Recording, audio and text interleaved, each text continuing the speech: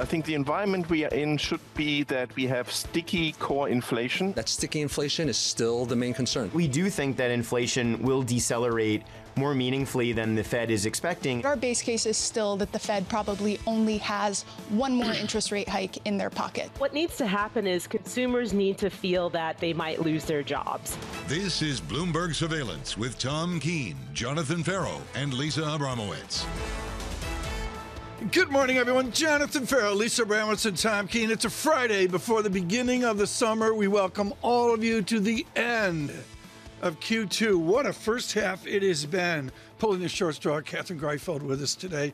Katie Greifeld, who has a full Friday ahead of you because she is front and center. Amy, let's get the promotion out right now. Top of the show this afternoon. Stay tuned for the real yield because the real yield is the only thing that matters on this Friday morning. Katie, the real yield's breaking out to new inflation expectation highs. I mean, if we look at the five year, we're above 2% on that real yield. You take a look at the two year, we're on 3% watch. I'm glad that you told me first thing this morning to look at the real yield because you're right. I mean, they are absolutely rocketing higher. Well, 1.68% on the 10 year real yield. That's up a solid 10 basis points. 1.58 blowing out to 1.68. And Katie, that takes us back to yesterday. I thought the team did great about the shock of Bill Dudley's essay framing out in this coming quarter, mm-hmm. we need to look for a higher yield regime. And he was almost immediately vindicated because I think we got that essay at 6 a.m. and then 8:30 we got jobless claims, we got uh, GDP, and that actually led J.P. Morgan to ditch their bullish Treasury right. view. So an immediate rethinking on the heels of that. Keep this up. This is the quote we showed yesterday, folks, on radio. In sum, this suggests a 10-year Treasury note yield of 1.4 uh, of 4.5 percent. The former head of the New York Fed does the Frank Fabozzi exercise on where yields are heading. That changes everyone out there. It changes global Wall Street, changes your mortgage, your rent, everything out there to get the higher regime. Where are we? June 30. Let's bring up the drawdown chart. We did this when nobody believed in this bull market. We are down, down, down. SPX down 8% from the record highs. Dow Jones now down 6%.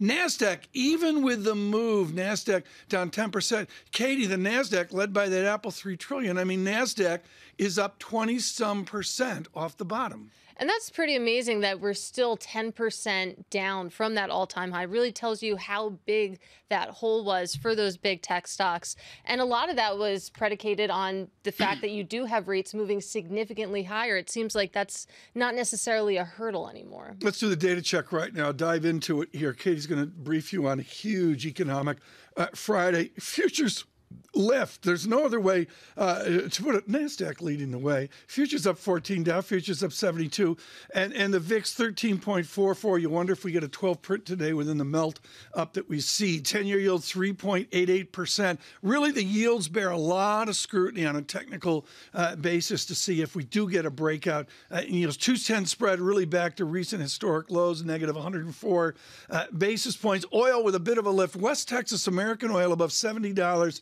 a barrel. Dollar with some strength yesterday, euro 108.46. And Katie, uh, into the brief here, let's brief that Governor Bailey's enjoying a weaker sterling, 126.36. And we'll see how uh, that whole board changes at 8.30 this morning. We do have a lot of eco data coming out, including PCE, of course, the Fed's preferred inflation measure. We're expecting a cooling across the board there. We also get personal income and spending numbers. And then at 10 a.m., you're going to get University of Michigan sentiment readings. I'm really interested to see the inflation expectations in that report. Definitely one to watch. Uh, moving on, this is interesting. We're also on Supreme Court watch. Of course, we got the decision on affirmative action yesterday. We're awaiting a decision possibly today on the Biden administration's student loan cancellation plans. Of course, that potentially impacts 40 million people. So, a lot of people keeping an eye out for that decision to come. And we are on Apple $3 trillion watch. The number to watch is $190.80. If you look at where Apple is in mm-hmm. pre market trading, we're above that. So, we're there. That would make Apple the first company to reach that $3 trillion market cap milestone. We'll see if that holds through to 4 p.m. today. The next hour, we're going to touch on is Dan Ives scheduled to be with us. I believe we're not going to see Mr. Ives uh, today. He's got a family matter, but the answer is Dan Ives uh, modeling out 4 trillion. We'll talk about that in the next hour. Again, futures up 14. Part of the collective memory that John and I have about bulls and bears is people that are out switch their mind and get it right. One of those is Max Kettner, Chief Multi Asset Strategist at HSBC. We joined him in London ages ago, and he said, You know what? Up. We get a brief today from the gentleman who got this rally right. Max, give us a redo here. How have you recalibrated for Q3 of 2023?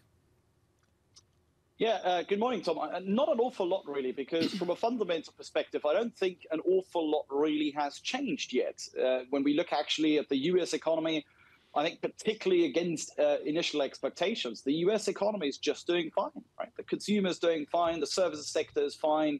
Uh, look at all the concerns we had around the housing sector, around commercial real estate. The reality is, I think you guys uh, at Bloomberg are running one of those surprise indices about the US housing and real estate uh, activity, and that's on a 20 year high, right? So the, the US economy is really doing fine. So, quite frankly, I don't think those recession calls that we're still having for Q3 and Q4, and in particular for the, for the US economy, that these recession calls are really, really going to uh, come to fruition. I really do think that those recession calls will continue to be misplaced. And right. if anything, the risk is that things are continuing to be much, much better than expected, and that we will have another sort of short end rate repricing. Uh, Max Kettner, fold in here the linkage of economics to the markets, which I'm going to take through nominal GDP.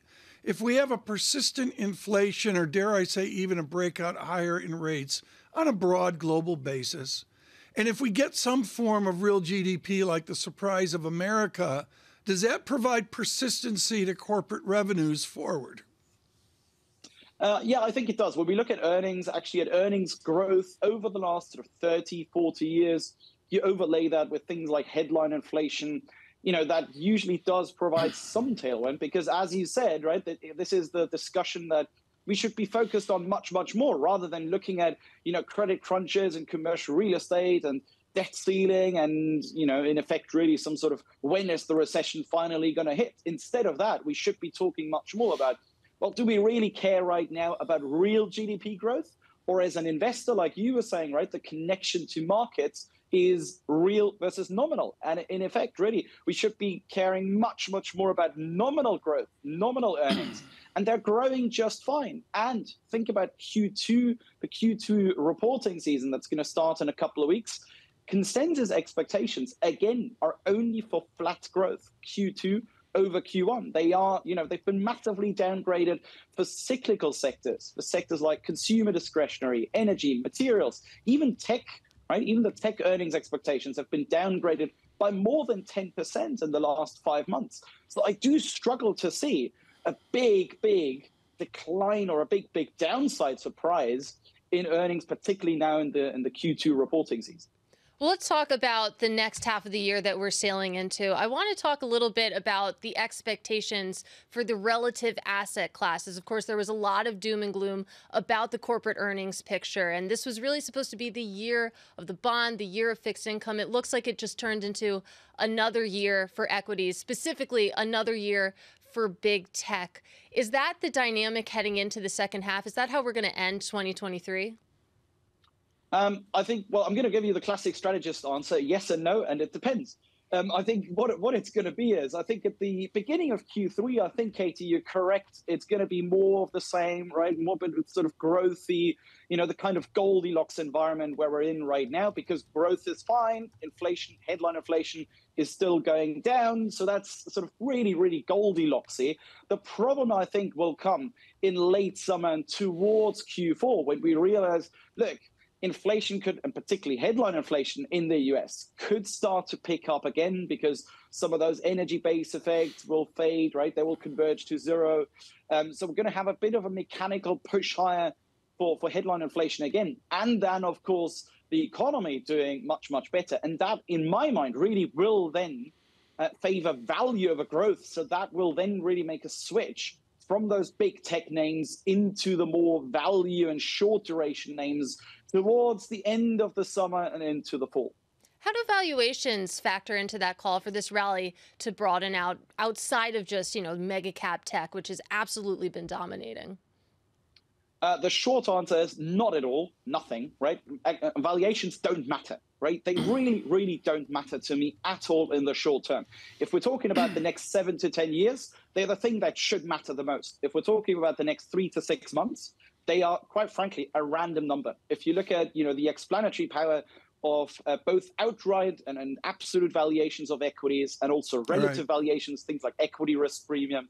Uh, and the explanatory power with sort of six to 12 month performance, it is somewhere between two to 3%. So they don't really matter, right? So to me, the valuation side of things, they don't really matter. It's more the inflation and the rates trajectory, right, and particularly inflation, the sticky inflation part that matters for the next six months. The the, the left tail outlier right now, and we covered this yesterday, Max Kettner, with an important essay by William Dudley, the former president of the New York Fed, who modeled out a four and a half percent U.S. ten year. But the thing that no one's predicting is a higher interest rate regime. That goes against Steve Major. That goes against David Bloom and a lot of the HSBC research heritage. Are you guys prepared for the possibility of higher interest rates?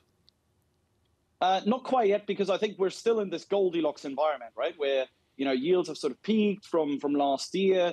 I think it is really a risk for the second half. It's not a base case. It is a risk, though, not on the long end, more on the front end. Because yeah let's remember that you know futures are still pricing around 150 basis points of rate cuts between the end of this year and the end of next year. So it is really one of those risks, I think, that if the majority of those rate cuts will be sort of pushed into 2025, not saying that there won't be any rate cuts at all next year, but if the market temporarily shifts its expectations, you know, from 2024 into 2025, that has massive, massive implications from an asset allocation perspective, because what we just talked about in that environment, if that risk does, if that tail risk, that left hand side risk really does uh, uh, pan out, you really absolutely don't want to be in growth names. You want to be shifting into the value names, perhaps even into the cyclical value names, uh, uh, rather than really having the long duration and, and tech assets.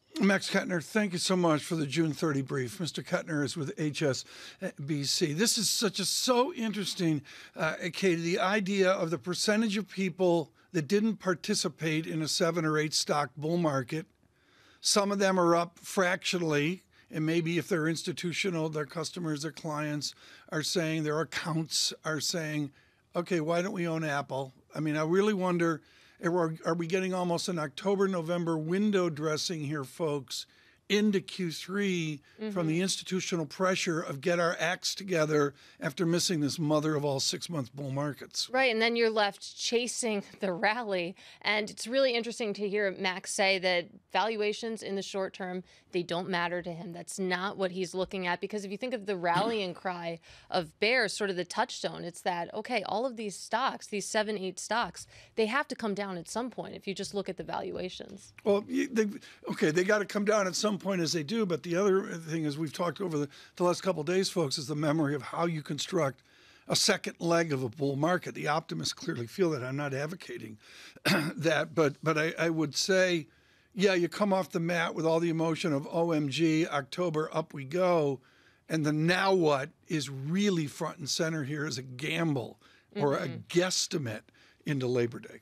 But I really think what you brought up, the idea that maybe rates new, do need to be higher, perhaps structurally higher if we get structurally higher inflation, that is still very much a hurdle. Katie Greifeld with us here, Lisa Abramowicz and John Ferro off off. They're on assignment, as they say, into a long weekend.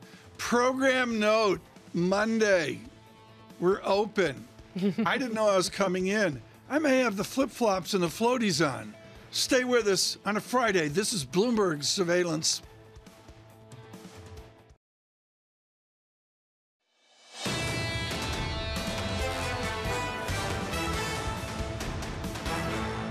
Unfortunately, again, we still need a lot of support This year, the Ukrainian budget is fully funded. Uh, we're discussing 2024 now, and that will require all of our friends and partners, including all G7 countries, to help us to go through 2024, uh, regardless of where we are on the battlefield and how fast we will win. The ambassador of Ukraine to the United States, managing the message forward here, of course, uh, just in a week ago or so, the tumult, the shock we all had of the upset, the mutiny in Russia, and the ramifications of that, the odd rumors, and all this week. We say good morning to all of you here on the final day of the second quarter of 2023. We've got some wonderful market guests coming up, trying to figure out the way forward in this bull market, what we see in bonds, currencies, and commodities as well. I should note oil 69.98 with a little bit of a lift uh, this morning, and futures do what they've done, confound people from October. right now, we turn to Europe. We could spend an hour with Maria today or this morning in Brussels, but don't have that time. We have enough time, though, to address the fact, Maria, that if you come out of New York City in three airports, all points for tourists point to Paris. And the immense guilt that Americans have is that we visit three arrondissements, maybe five in Paris. Everything is wonderful until it's not. And right now across France, it is really ugly. This is not just about Paris, folks, with Mr. Macron moving home to begin to uh, deal with these protests. Maria, brief us now on the urgency of Mr. Macron's weekend. Well, very urgent Tom because he has decided not to do a press conference here in Brussels. Very unusual. Frankly, I cover him all the time, and I don't remember a press conference that was canceled in Brussels. We know he loves the international politics, but now he's decided it's time to focus on the situation that is going on in France. We know that there has been now three days of protests, at times violent. We know there was a shooting of a 17 year old, and we should stress in Europe, it is not usual to see the police that shoot to kill. So obviously, every time that happens, there is major pushback. The issue for Emmanuel Macron is that he had promised to the French people that by the French National Day on July 14th, protests would be in the past and the country would be forward looking to a bright future. At this point, he's going back right. to deal with streets that are burning. We're being told that this is the major concern for the president, that he has been on his phone for 48 hours and now decided, I can't stay in Brussels. I have to go back home. The distance from Pont Neuf out to Nanterre one of the poorer parts of Paris where all this tension uh, began, and maybe it's a part that Americans don't see, speaks to the conservative lift in Europe. We see it in Italy, Maria Tadeo. We see it across Eastern Europe. Has there been a new conservative surge in Germany, in Macron's France, and even for that matter in Northern Europe?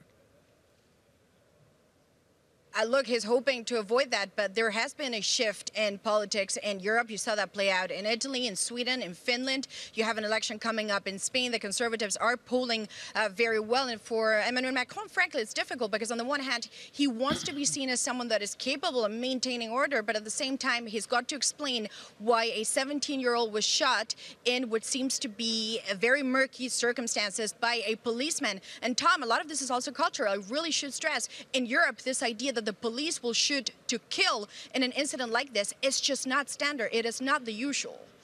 Well, Maria, let's go from Paris back to Brussels, where you are, where all 27 EU leaders agreed to offer future security commitments to Ukraine. Of course, that comes on the heels of last weekend when we saw that mutiny erupt in Russia. How does that impact these discussions? How does that impact potential further support to Ukraine? Well, I would say not just 27, but actually 28, because uh, Mr. Stoltenberg, the head of NATO, he was here yesterday. And by the way, it is now widely expected that he is going to be renewed as the head of NATO for another year. Remember, he was supposed to leave for the Norwegian Central Bank in 2022, but then the war broke out. The idea now is that he will be extended for another year. Look, I think the fundamental issue here is not so much Russia. They say this is an internal matter. They don't want to comment on the politics. It's about Ukraine and NATO. What the Ukraine Ukrainians want is a very clear promise from NATO next month that when the war is over, they will join NATO. Is there consensus to get that kind of promise to say, yes, you will join? Frankly, at this point, no. And this is a very delicate topic, not just here in Europe, but also in the United States and across NATO. Well, on that topic, Maria, I mean, what's the current thinking of the likelihood that they will get that commitment next month?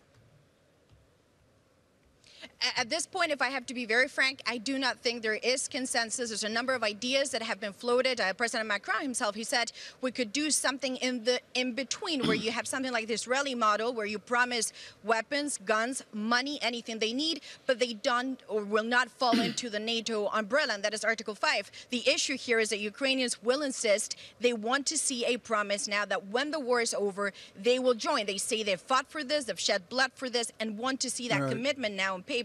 Maria, I, I'm not being snarky here or snide, but in a general sense, did Mr. Lukashenko of Belarus did he have a good week? I mean, did he?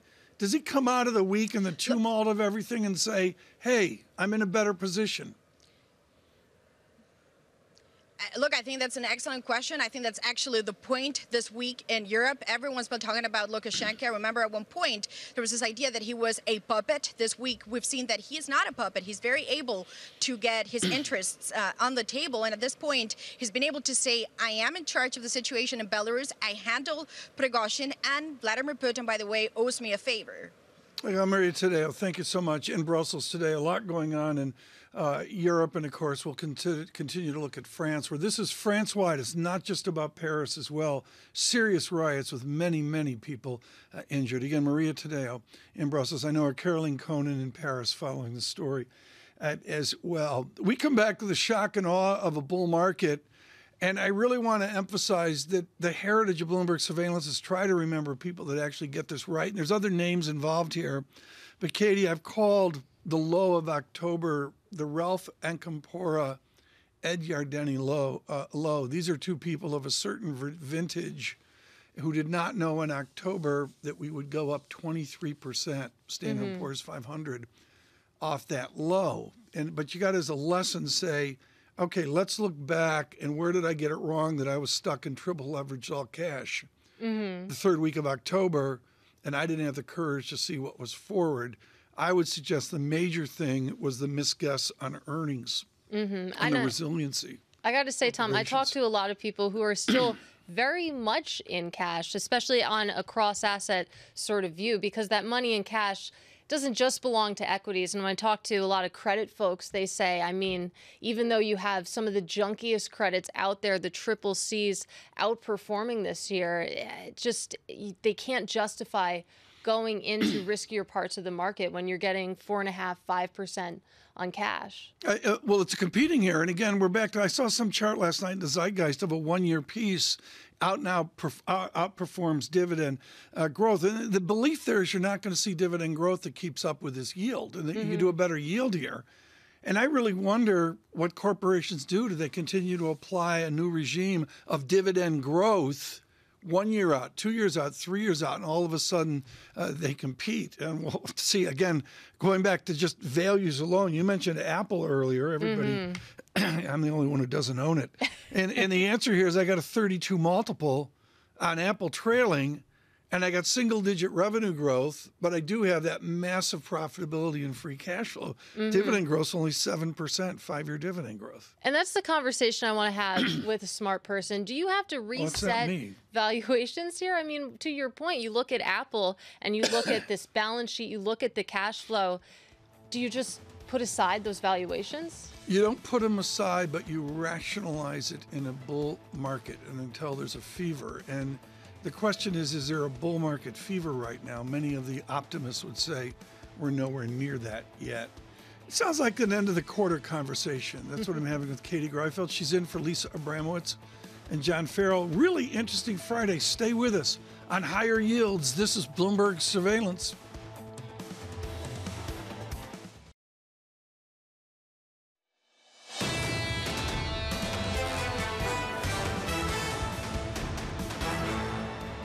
Bloomberg Surveillance. Good morning, everyone. The end of the quarter. We stagger into the third quarter. Monday, program note will be here.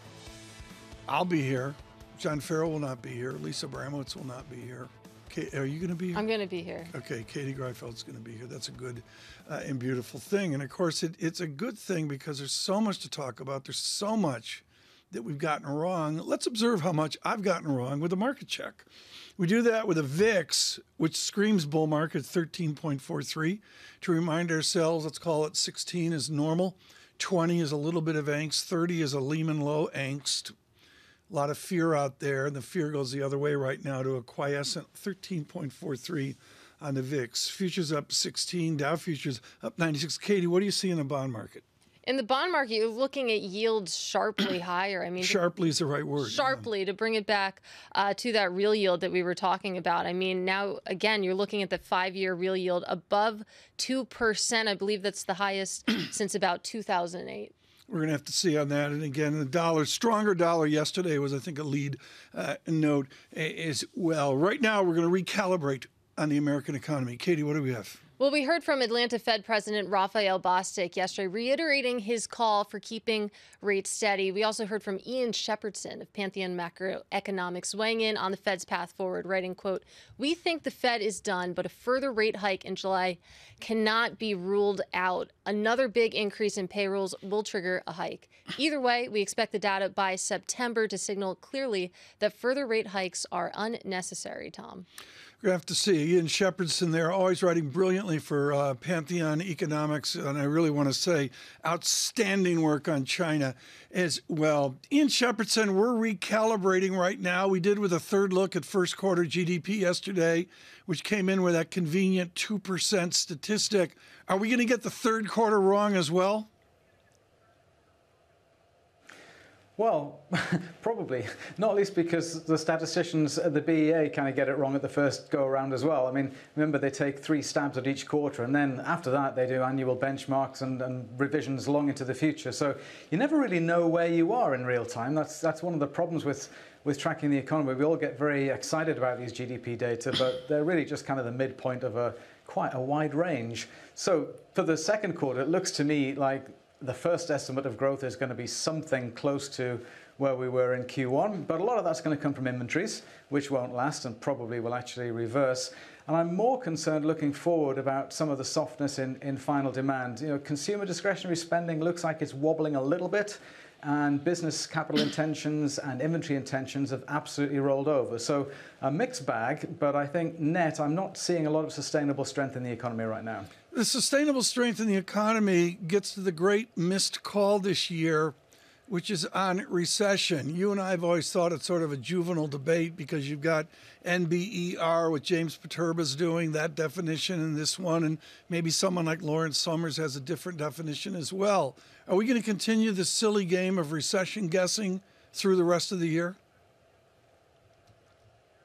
Oh, no doubt. But it kind of misses the point, really, because does it matter if GDP growth is minus 0.5 or plus 0.3 or even minus 1 or plus 1, given that it's not measured to that degree of accuracy anyway? What really matters from the Fed's perspective is not the headline GDP numbers, it's what happens in the labour market and what happens to inflation.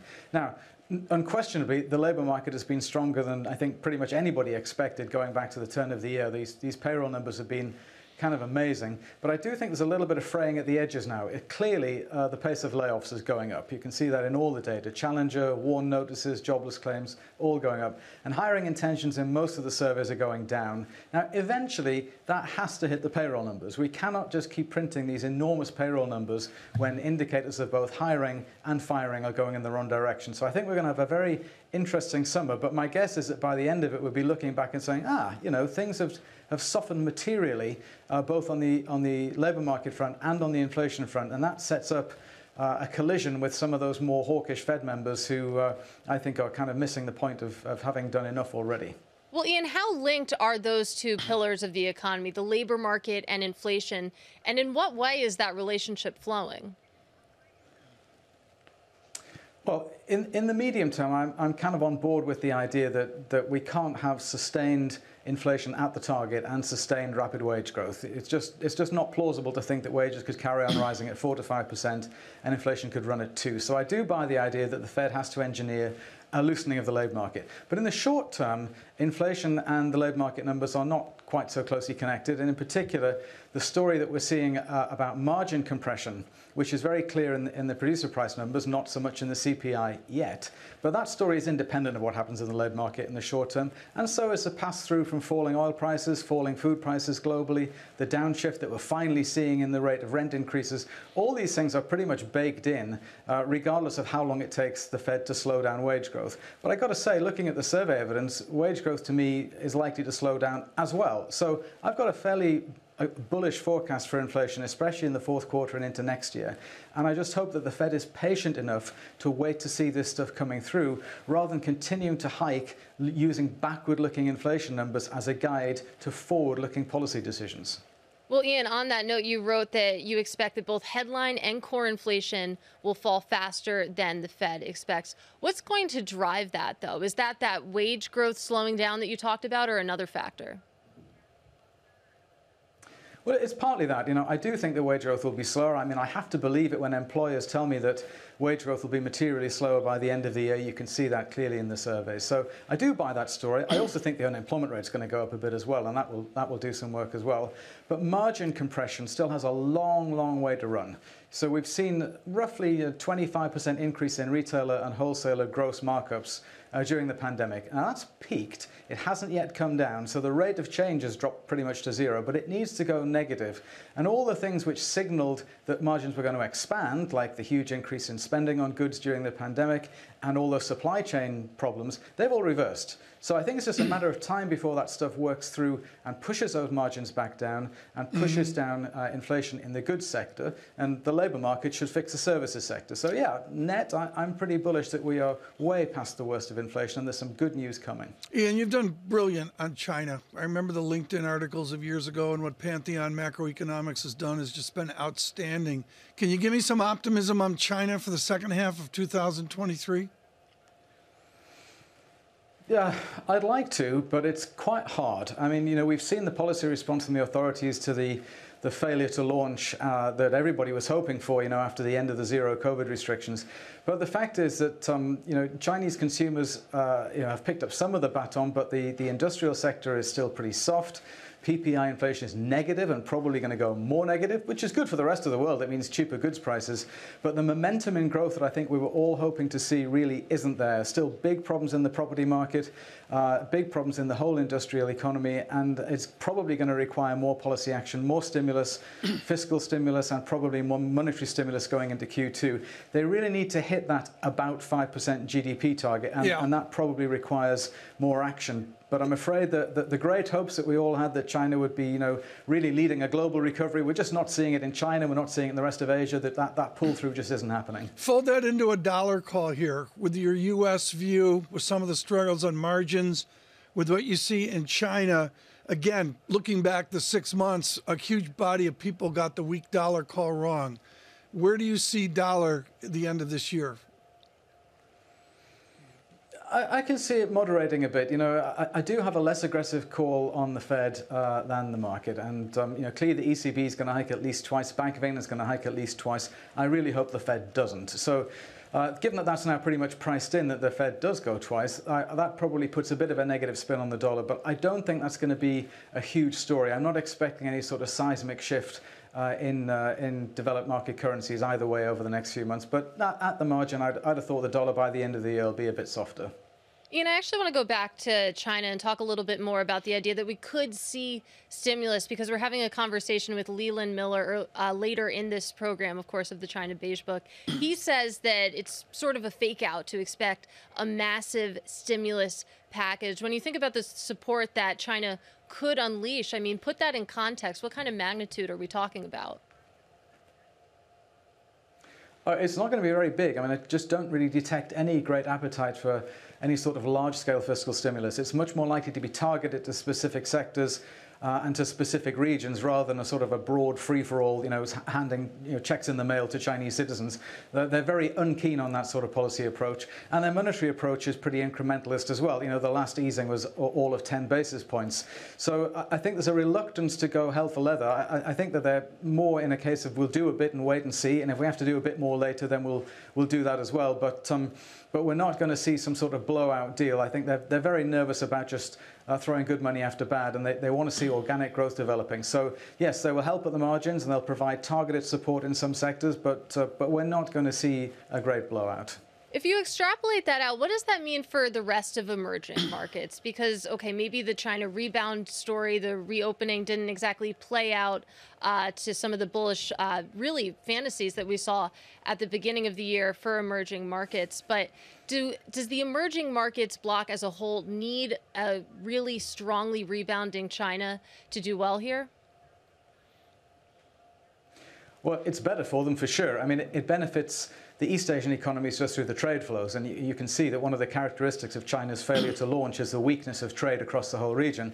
But of course, other EMs, you know, further away, especially in Latin America, are very contingent on what China does because of the commodity story. You know, the copper, oil, and other commodity prices are very, uh, very driven by China at the margin. So for those economies in, in LATAM, it would be very helpful if China were to gather a bit of momentum. So yes, I mean, it's been disappointing for all EM, uh, for different reasons, depending where you look. But um, moving into next year, if China can develop a bit more momentum, then that would be an uplift of the whole Asia and, and LATAM space. But, but again, right now, this right. is not something I think you can rely on happening in the next few months. It's going to be much more of a grind. Ian, what we see in the next few months I'm absolutely thunderstruck at the number of people trying to buy victory in Premier League soccer, in Premier League football in England. Is Newcastle United, your beloved Newcastle. United, are they going to climb on board and start bidding a hundred gajillion dollars for all these fancy talents? Well, you know, the transfer season's in full swing now. We, have we, just bought Italy's uh, midfield captain, so um, yeah, the money is flowing. Of course, what, what happens is the Premier League is now just a plaything for very rich states. Uh, and so the, the days of you know local businessmen owning owning football clubs are long gone, and now it's just a, a race for the petrodollars. It's all sort of faintly absurd and, and, and, rather disconcerting. But it was fun to watch Newcastle United this uh, year and to learn about the Shepherdson past. Ian Shepherdson uh, with Newcastle United and Pantheon Macroeconomics uh, with us today. And it, it, just really it speaks, Katie. You know, we're, we're making jokes here about English football because I miss John Ferro. I'm gonna I'm gonna tear up here. I miss I miss I miss Ferro so much. I wish I had anything to add on. What soccer. the hell is it about these British people where they take like three, four weeks? You know, God bless. Vacation. He deserves it. We're nuts. I mean, we're working Monday. What's that about? I'm psyched too. That's you're psyched. yeah, I, am psyched too. But uh, you know, you, you you look at this, and it speaks to the resiliency and this is the heart of the matter, folks. And really, one of the great essays of the second quarter was Lawrence McDonald writing it out. Go to his site, Bear Trap, whatever it is. But Larry McDonald absolutely nailed the first order condition, which is just the mass of money mm-hmm. that's out there. Mm-hmm. That's the number one thing we forget about. I know, and you can see that. I mean, again, it's not just necessarily a U.S. story. Of course, we have our own uh, fiscal situation, but then you look at some of the data that we got out of Europe this morning in terms of eurozone inflation. Core inflation for a lot of these developed economies, it's still very much a problem. Consumers are still spending. We're well, still strong. This is the tension, folks, and this is what we're going to be covering here uh, into July. It's a late jobs report for June. Usually it'd be like July two, three, four. A holiday gets in the way uh, July 7. Uh, maybe John's coming back for 4th of July because he doesn't celebrate it. Uh, but, you know, you get to July 7 for the jobs report and then on to the earnings season. And the backdrop of this, which is to me the elephant in the June 30th room, and I'll go through the yields right now 4.91% in the two year yield. Do we go back to a 5% there? Looks likely up five basis points. 3.87% in the 10 year, 3.92 percent of 30-year bond. Are you getting used to a 7.25, seven and a half, dare I say 7.9 percent 30-year mortgage? Stay with us. This is Bloomberg.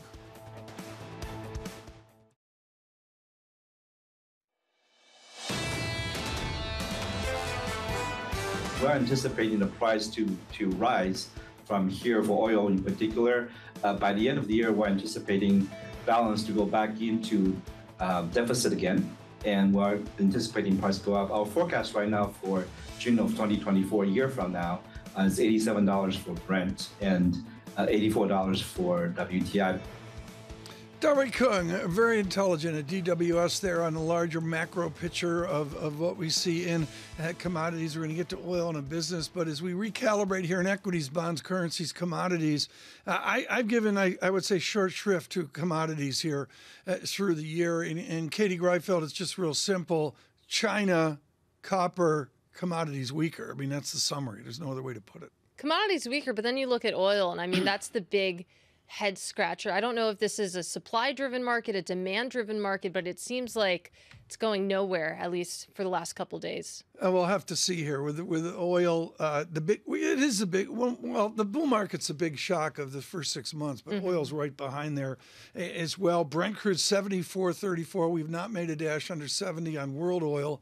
But on American oil, decidedly, we have $69.72 with a visit to $66 uh, a barrel everyone I speak to, led by John Tucker of Bloomberg Radio, makes clear to me that the price of gasoline has not followed a barrel of gas down. Maybe that waits for the third quarter to see a gallon of gas migrate down. Providing immense service to us on the microeconomics of supply demand of hydrocarbons has been Amrita Sen, co founder and director of research at Energy Aspects. How do you recalibrate for the second half of the year, Amrita? Great question, Tom. And I think the challenge we have right now, like you were saying as well, is that it's a bit of a bifurcated market, right? Crude has not performed as we've expected as well, but products markets have. And this is where I go back to this isn't a demand problem. If demand was weak, we wouldn't have gasoline prices at the pump uh, not having come down. Gasoline has actually done very, very well, including in China. Uh, even diesel, where uh, manufacturing has been weak, has actually started to perform very well. Overall, demand is actually holding up and demand has been coming in stronger than we've been expecting, as, as you and I have discussed as well. There has been this issue with destocking, as, as we've talked about before as well. High interest rates just mean across the board, any business, they just don't want to hold as much inventory. So we've had more crude right. come to the market as a result of that. Um, but also, I think supply, I, I, do think Iran was the big miss we had. Um, we've actually raised Iranian production now. They've managed to increase production. And, you know, the interesting thing about the Iranian situation is that if the same volume of oil, say, came out of the United States or Saudi Arabia, it would actually be less bearish. But Iran discounts its oil right. to sell, right? So that brings the marginal price down and the availability of these discounted crudes, be it Iran, Russia, I think that's been the big story. Volumetrically, I don't think we've gotten balances wrong, but I think that the availability of more discounted oil has meant that prices right. haven't reacted in the same way. Amrita, you and I have a shared respect for Edward Morse at Citigroup, who really looks at the geopolitics of hydrocarbons 24 7 and as you know, Ed Morse absolutely nailed the idea no oil wouldn't go to 120 and stay there, that we would visit 70 or dare I say $60 a barrel. Give us your geopolitical spectrum right now. What is the optionality Saudi Arabia has to raise oil $10 a barrel? I mean, right now, uh, given also the macro environment, I'm not expecting um, a lot in, or optionality even from a Saudi point of view to be able to raise production because Saudi Arabia has unilaterally cut production. OPEC Plus have extended their voluntary cuts. There's not much more they can do. For them, it is about providing stability to the market, provide a floor so that even when there's a lot of demand uncertainty, you still have some continued investment. The market is tightening. You can start to see it in the heavier sour crudes, not in the lighter crudes. And this gets very, very technical. But we have a problem with naphtha. The petrochemical sector is actually very weak, and that is, like you said at the start, it's a China problem. The property sector is very weak.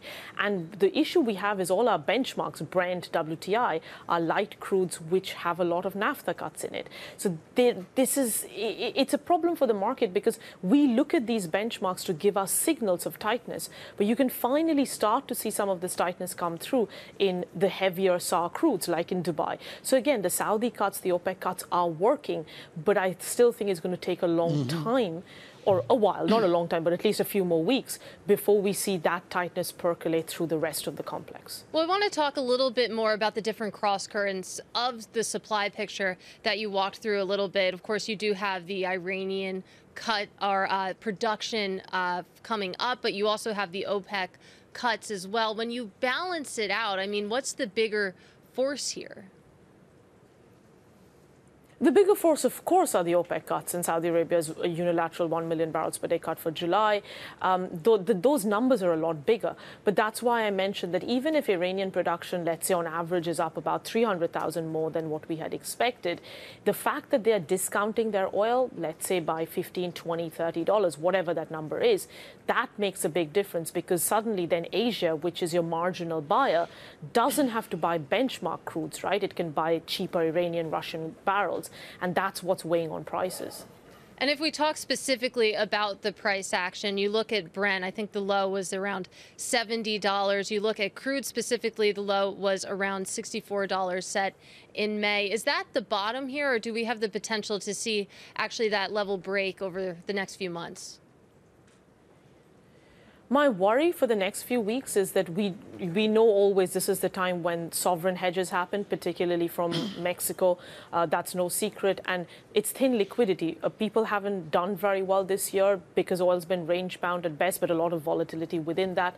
Uh, so most people, most traders I know are like, okay, we, you know, we're going on holiday. We'll come back and reassess. If you get these big sovereign hedges come through, you are going to get price pressure in the coming weeks, and that could mean in a low liquidity scenario potentially lower prices. But other than that, other than kind of floor driven events, I do think the floor for Brent is, say, call it around 70, 71, and the upside should be in the mid 80s. So um, that's the thing I'm watching for in the coming weeks is, is, is those hedges being put through. Amrita Sen, thank you so much. Just huge help here for the first half Thank of uh, 2023. Really look forward to speaking to her on the mystery of hydrocarbon forward. I, and I'll say this, folks, which I think is widely understood on Wall Street. It's the single toughest thing to predict. Amrita Sen and her ilk have the toughest job uh, out there. I think the, J, the the only research piece, Katie, I have on my coffee table at home in the living room Mhm. is the J.P. Morgan 80 page piece modeling out $120 a barrel because of emerging market demand. Forget about ESG and the rest of it. Emerging market needs hydrocarbon, and up we go. Have they been wrong? Yes, mm-hmm. but give it some time. And that's sort of the hope and prayer out there for higher oil. Maybe you can lend me that book because it's definitely a mystery to me. And then you look at the price action just over the past few months. I was reading a story this morning Brent oil on track for its worst run of quarterly losses and data going Yeah. back than more than three decades. this oil Well- market has been so difficult to read. Then you take Saudi Light as an older series and you adjust it for inflation and you adjust it for our rising incomes. And it's amazing how it's a, not an oil depression, that's too strong, but it's really been uh, quite weak. Where we haven't seen that, uh, you know, looking at second quarter, Q1, going back to the Greifeld low in Bitcoin. What was the low in Bitcoin here? Do you take it off 26,000? You know, Or do you, do you where, where in your head do you say at 30,000 we're up X? I mean, how do you do that in At 30,000, I say, holy moly, we're up a lot since we were below $20,000. That was, of course, in October. Everything Right. rebounded in October.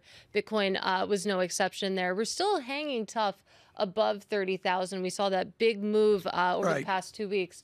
I don't know what the next catalyst, though, is. So, so the fancy names out there, the people that crypto worships, the the the the twins, what's their name? The, the Winklevoss twins. And Novogratz and the rest of them, you know, all the usual names of people out there Mhm. that have been big on BitDog. Have they been made whole by the move up in Bitcoin, or are they like, come on, come on, come on, let's get to forty thousand? I mean, what's that mood right now? It certainly helps, but I mean, if you think about the fact that you need to draw in some of the retail players that got really crushed from that move to sixty-nine thousand dollars per coin, all the way back down Yeah, below when I bought twenty thousand. I mean, Thank that's you. that's really extinguished a lot of uh, just retail interest in the space. You're left with sort of these long-term believers. So if you think about what's going to propel the next wave of excitement here, I mean, you ne- really need to bring in that marginal buyer who, right now, still, you look at the trading volume, Right. it doesn't seem like there's a lot of interest. How do you look at Bitcoin doing so well, and some of our reporting today is other coins underperformed? It's the haven currency of the cryptocurrency Oh, God, you're industry. killing me. she's, she's laughing. At, you don't see this. I mean, the Bramo cam is still on, even though Lisa's not here. Greifeld has the Bramo cam on her, and she's laughing at me, folks. Over you, you don't understand, you idiot. It's just bit the dog. haven currency. Bit dog is the haven currency. That's what I learned. Save me.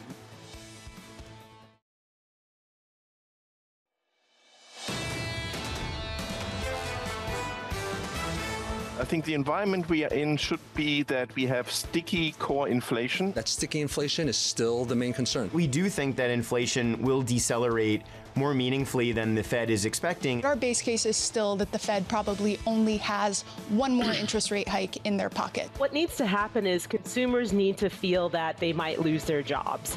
This is Bloomberg Surveillance with Tom Keene, Jonathan Ferro, and Lisa Abramowicz. Good morning, everyone. Jonathan Ferro, Lisa Abramowicz, and Tom Keene. It is Bloomberg Surveillance on radio, on television. Jonathan Ferro's on assignment.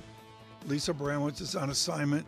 Katie Greifeld doesn't have a life. She's with us today. In addition, let's get it out front right now and sell your afternoon viewing. Uh, this is an important show today because the real yield really is front and center. Greifeld holding court at the real yield. Look for that this afternoon here. Uh, and there's a lot to talk about within the fixed income space. It's part of our second quarter. How, that graphic is beautiful. I It mean, for those of you on gorgeous. radio, it's just a Ferro designed that. Yeah, You know, yeah. he- I don't. That's not he me. was, he- we're at the Ned over. Uh, the Ned is the hotel uh, next to our Queen Victoria Street shop in London. And John and I were over a beverage of our choice with Alex Webb, and he started sketching out the background Beautiful. the real yield. I wish you could hear the uh, theme music as well. My heart starts racing every time I hear Well, it. Well, that's Ferro picked that out too. I think it's a Clash song from like the I think '78 or, or so. Right now, we're going to clash with how you got it wrong in the last six months, how I got it wrong uh, in the last six months. Triple leverage all cash that really worked out. Uh, I'll say futures up 18 and the continued melt up. Dow futures up 107. Look at those levels 44.53 rounded up. Can I say 4,500 SPX? Binky Chadha, Deutsche Bank. Good morning on that uh, statistic. 34,000 Dow. NASDAQ continues to go up. You're on a 3 trillion watch on Apple, right? You're going to mention that in the brief? Oh, big time. We're going to talk Yeah. about that. That's number three, so I don't want to front run it. Uh, but I mean, we'll see how these boards change at 8:30. Remember that the price action was really driven by the data we got yesterday and it, jobless claims and GDP. Well, this morning we have PCE coming up. A look at it. We have a lot of data today. A That's a lot summary. Of data, a lot of data. You know, get your Bloody Mary out. I Yeah. know you're sliding into the weekend. Greifeld 8:30. Pay attention. Go. 8:30 PCE. then we have personal income and spending figures. Uh, a really important look at inflation in this economy, and then we have UMich sentiment. We have, of course, you know, sentiment broadly among consumers. I'm really interested to look at the inflation expectations, though. I know the Fed is as well. So we'll get those UMich numbers around 10 a.m. Also today, of course, we're on Supreme Court watch. We got the ad- affirmative action decision yesterday. Now we're looking for the student loan decision. Of course, the Biden administration's plan to cancel student debt. Again, that impacts 40 million people potentially. So big ramifications there. And as Tom mentioned, of course, we are on Apple $3 trillion watch. The number to watch the closing level, we have to get to $190. 80 cents. You can see we're comfortably above that. Maybe not comfortably, but firmly above that right now. Apple currently up that. about seven tenths of a percent in the pre market. Can I just point out that Nvidia Mm-hmm. is 1.008 trillion? Amazing. I mean, I don't know what's more important. Uh, you know, every who doesn't own Apple? Three trillion. Who doesn't have Apple? Like eleven products, whatever, in the house. But Nvidia, which I really don't understand or know or get, you know, General Mills Cheerios, I get it. Yeah. Okay, Nvidia, I don't get. It's a one trillion dollar company. I don't know what to make of that. And I got to pull up the chart at some point and look at what that was a year ago because the rise of Nvidia has just been Yeah. amazing to watch, a really stunning move Yeah. higher. And it seems like, I mean, you talk to a lot of people and they say that has more legs. I think was like Taleb, had call options on it. I think that's why he's got like a six week. That's why he can take those That's why- yeah, exactly. Tesla market cap less than Nvidia.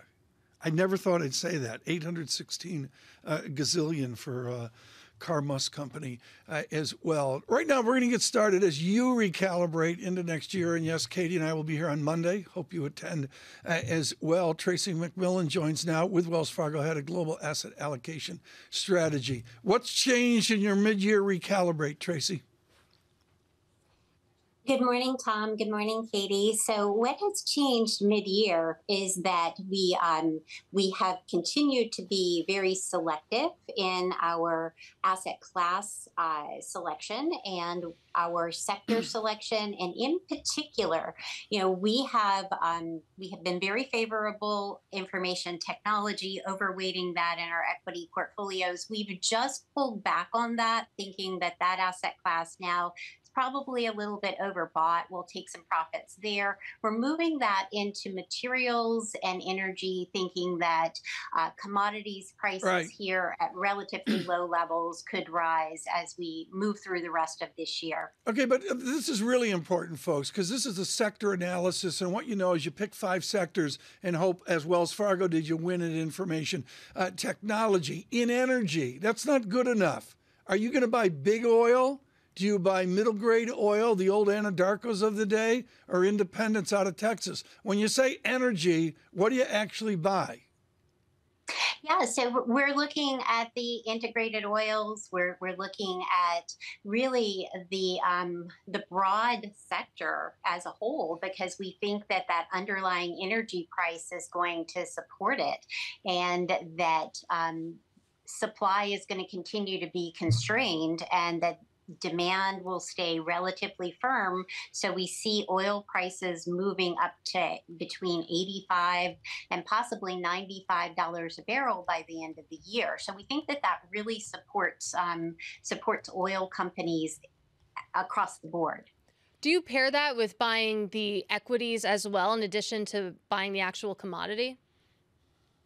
We do. Uh, within our portfolios, we we look at various asset classes within equities, and we also have an asset class for commodities. Uh, so we do have a commodities position, and we are we're kind of taking that viewpoint on commodities through to our equities sector holdings as well. And within the uh, asset classes, we, we've stayed up in quality, and we continue to do that as we look to uh, the end of the year. And that's really benefited investors because it's been those higher beta parts of the equity markets, like emerging markets and small caps, that have underperformed large cap and those quality type holdings. Well, as you look towards the end of the year and as we enter the second half and you take the temperature of this market, is it still a defensive tilt or is it time to go on offense? What are you playing? Yeah, so we're staying defensive, and we do think that as we move through the rest of this year, we're going to continue to see that earnings recession that has already started. We've already had two quarters of negative earnings. We think we're going to see the third quarter of negative earnings as, as we start to get earnings results here in the next couple of weeks. And we're staying up in quality. Uh, I mentioned that before large caps over the higher beta sectors within fixed income. We continue to like quality over high yield. We just don't think the spreads right. represent the amount of risk that's there in high yield. So, yes, stay defensive. What is the ramifications if we get a higher yield set? I mean, I get the theory that if you have a coupon, you get a higher yield, you're going to pick up a further coupon while price goes down. That game plays itself, Tracie, as long as you can, and then it falls apart. Is a surprise for the next six months that we get price down, yield up enough where the carry on yield falls apart? Well, that's one reason why we're staying shorter term and we're barbelling with with a, a short-term and long-term strategy and fixed income. So we do think that uh, interest rates now are retesting a level that we saw back in March. And if you recall, when we hit these yields in the marketplace, we did start to see some disruptions. We started to see bank failures. Uh, investors have written that off as idiosyncratic. Uh, they think that you know the Fed was able to take care of that. Uh, we're not so sure. We think you know as we move up into these higher levels of yields again, we could see additional disruptions. And so, you know, we would stay short term, uh, reap those 5% plus yields in, in the near term. But also, if we get up to 4% uh, in the longer term bonds, we would be buying those because we think that as the Fed pulls inflation back to 2%, that 4% yield is going to look really good in the longer term. It's going to be interesting to see. I, know, Tracie, I, I look at the recalibration, and the heart of the matter is there's a lot of people out there who weren't on the seven stock juggernaut. What do you do if you don't own those seven stocks? Do you take a minimum position? Do you just say, I have to wait for next time? What do you do with those glory stocks of the first half of 2023? Uh, a lot of those are uh, are, overbought in, in our viewpoint. Um, however, uh, we would continue to purchase those higher quality names, and a lot of those names are uh, those seven stocks that have performed so well. So we would look for better entry points, but you know you you really need to be uh, in the higher quality names, and so we would. Um, you know, we would hold positions there, but not necessarily initiate them. Tracie, thank you so much. Tracie McMillion there with some real acuity from Wells Fargo Investment uh, Institute on what to do. I think what's great there, uh, Katie, is people talk about 60,000 feet, you know, economy. It's like bank CEOs where they go, what do you think the economy is going to do? Do I really care? And with asset allocators, it's like 60 40. And what you heard there from Ms. McMillion was the real acuity of saying, okay, we're going to lighten up on tech, mm-hmm. and I think we're going to go long energy.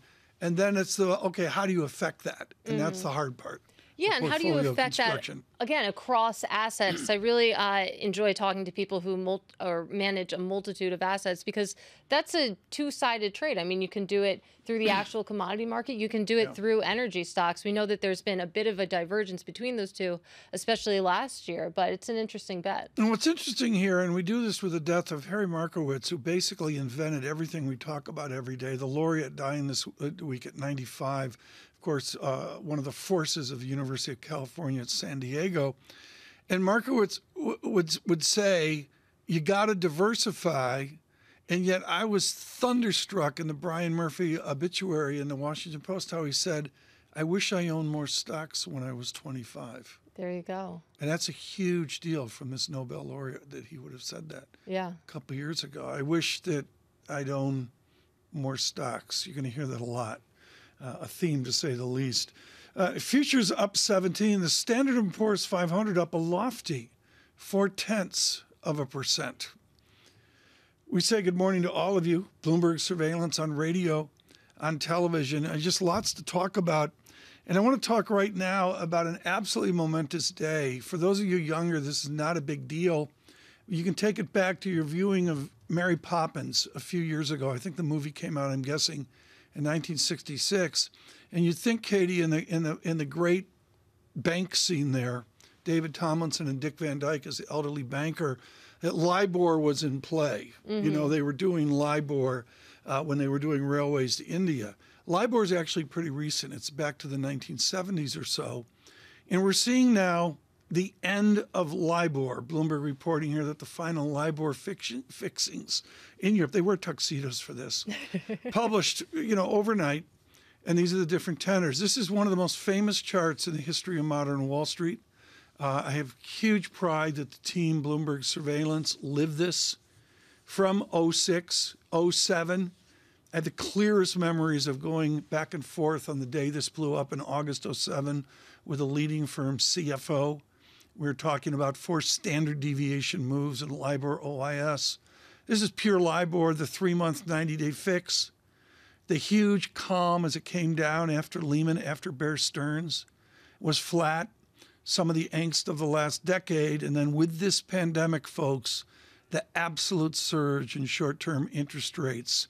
Stay with us with the end of LIBOR because we have a jewel in this company, Ira Jersey and his team and Bloomberg Intelligence, and they will help you with the new LIBOR, which is SOFR. I think I'm pronouncing it's that. It's SOFR. Right. Did I do okay there? That sounded good. S O F R is what it is. LIBOR, the final days of LIBOR. Extraordinary. This is Bloomberg. Good morning.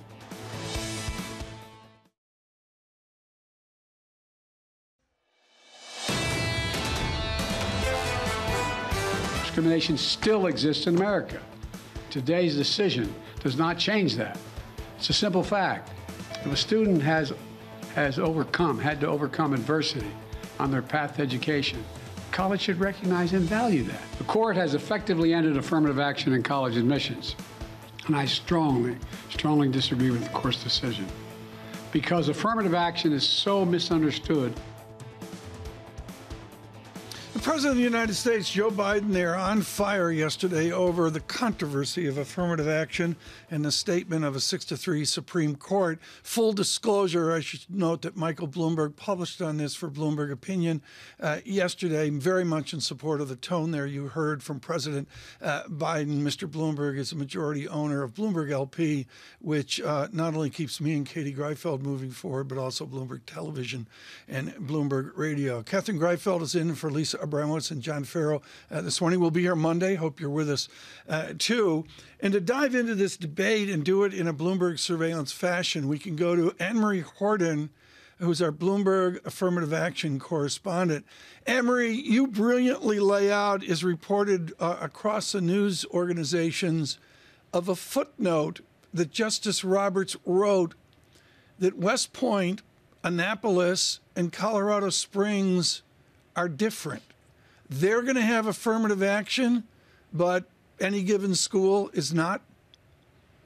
Yes, there's this carve out, if you want to call it, for military academies to continue using um, affirmative action, race based conscious program admissions uh, provisions in these military academies. And the president made a nod to that, and he didn't quite connect the dots, but was saying we have, you know, our military is the envy of the world. And the justices are allowing the military universities to do this. Of course, this is because uh, the military wants to make sure that they have diverse officers, not just individuals on the front lines, and, and uh, but they want diverse officers, and that's really where this stems from. Um, you know, there's going to be some criticism by the fact that there are still officers that are in the U.S. military that don't come from military universities. You think of ROTC programs on campuses. So uh, a tremendous amount of pushback, obviously, from this White House Right. and the Democratic Party. But also, that was an interesting carve out and footnote of this uh, Supreme Court decision. Anne Marie, I think for this decision, and of course for our international audience, this is a modest uproar across this nation uh, this morning. Rather than do the rehash of everything that's out there, I want to focus on one small vignette out of this. And, and thank you to Abby Van Sickle, who I thought was brilliant on this in the New York Times. There are two black Supreme Court justices. To be polite, they don't disagree. Can we say that about a broad Latino and black community in America, Anne Marie? I think for the most part, what you saw from the black community, Latino community, um, the individuals, like the head of the NAACP, is that they firmly agree with the liberal uh, wing of the Supreme Court that this should not have been struck down, that this just negates decades of precedent in the United States um, to make sure that when you are applying for college admission, that university campuses are doing their best to try to make sure that they have a diverse body. Coming out of this is, of course, everyone watching this decision yesterday. We know that universities have already have been ramping up and gearing up for potentially having to go back, tweak, revamp their admission processes. But also, um, some of the legal experts we were speaking to last night on Balance of Power are talking about the fact that this just opens up a can of worms for not just universities, but everything else, especially businesses and uh, corporate Right. America. And Katie, the, the, the, as it was with any major decision down the road, it's going to be extraordinary. But the partition here from Clarence Thomas to Ketanji Brown Jackson is absolutely extraordinary in the, in the the anger of the language, the acuity of the anger is something I'm not quite sure I've ever seen before, really back 50, 60 years. And this was broadly expected, but uh, you're right in that reading uh, what these justices had to say was really stunning. And Anne Marie, you mentioned that you know this doesn't just affect universities; this this ex- impacts businesses as well. And if you look at some of the response, I mean, for one, you had the HR Policy Association basically file a friend of the court brief saying that uh, its members rely heavily on colleges. What does this mean for the pipeline of talent going into corporate America when it comes to diversity? Well, I think there's one thing we also should note and a nuance in this is that affirmative action as we know it has essentially been abolished by yesterday's Supreme Court ruling when it comes to universities. But there are other ways universities can make sure they are still recruiting from diverse backgrounds, especially back, Black Americans, Hispanic Americans. Um, there, you know, in the opinion, they did talk about the fact that students could talk about um, race in their essay and how that has impacted them. Uh, but it does bode a question of you know, what does this mean as all of these diversity programs have been set up for years and decades regarding this and companies also like universities want diverse talent because diverse groups many think obviously bring diverse thinking diverse workforce um, into a company and what legal experts are saying is that potentially we could see more of this and you already see in a lot of red states them really trying to crack down on any sort of DEI measures that corporate America is using or universities are using. And it's just going to get harder for corporate America to really navigate state by state what is allowed when it becomes to diversity, inclusion, um, and even things like the environment, et cetera. A lot of work ahead for universities and for corporations, to your point. But let's talk a little bit more about President Biden's response, because speaking after the decision yesterday, he said that we cannot let this decision be the last word. But what options, what can the Biden administration do here? Well, they're pointing to the Department of Education, but there's really not a lot they can do unless, of course, they were able to get Congress on board. Um, the other thing they could do, which the president then said in an MSNBC interview that he would not do, is, of course, potentially try to stack the court, add more justices. And he said that would be a mistake. Um, but the president did call this current makeup of the court, which yesterday on ideology lines you saw the six to three and then a six to two on the Harvard case because Justice Ketanji Brown Jackson recused herself, is you see what he is calling a not normal court.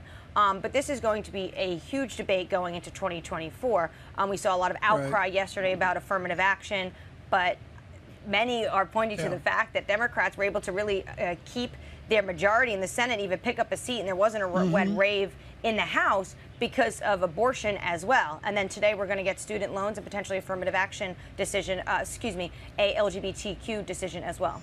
Anne Marie, one final question, and, and this is just because you're so well read, read on the American political experience. Do people vote in a presidential election because of their beliefs of Supreme Court dynamics? Does it really matter inside the voting booth or the write in ballot? I think it depends on what the Supreme Court decision is. We've seen that Democrats were not only able to campaign aggressively on striking down of Roe v. Wade and the Dobbs decision, but that that likely saved them from a red wave when they were Democrats and the White House were dealing very high inflation because abortion really matters, especially to those independent women voters. And when you ask Republican presidential nominees what they're going to do regarding abortion, it's a difficult topic for them to answer because they know they do mm-hmm. not want to ostracize the middle of society. Will individuals go out and vote on affirmative action? Potentially, this could be an issue for the youth vote that the Democrats really want to pick up. Anne Marie Hordern, thank you so much, our chief Washington uh, correspondent. And again, Katie, I guess, I guess, you know, I mean, the Supreme Court day starts like your day, 10 a.m., right? Mm-hmm. I mean, mm-hmm. they get going about 10 a.m., right? Yeah, that's uh, the the time that we're looking for. My understanding is it doesn't necessarily have to come at 10 a.m., but that's when really uh, the Supreme Court watch starts. And as Anne Marie brought up, I mean, it's not just student loans. We do have that free speech and gay marriage ruling expected today. So uh, it's a hefty day for the Supreme Court heading into this holiday weekend, you could call it. I, you could call it a holiday weekend. Let's not forget that people like to bury bad corporate news late on a Friday into a holiday weekend. It is not a holiday Monday. Believe it or not, July 3 markets are open they came to me and Katie months ago, I think it was seven months ago, and said, you know, we'll give you the month of August off into the first week of September if you do July 3rd. We'll be here Monday. Hope you're with us as well. It's a bull market. Futures up 16.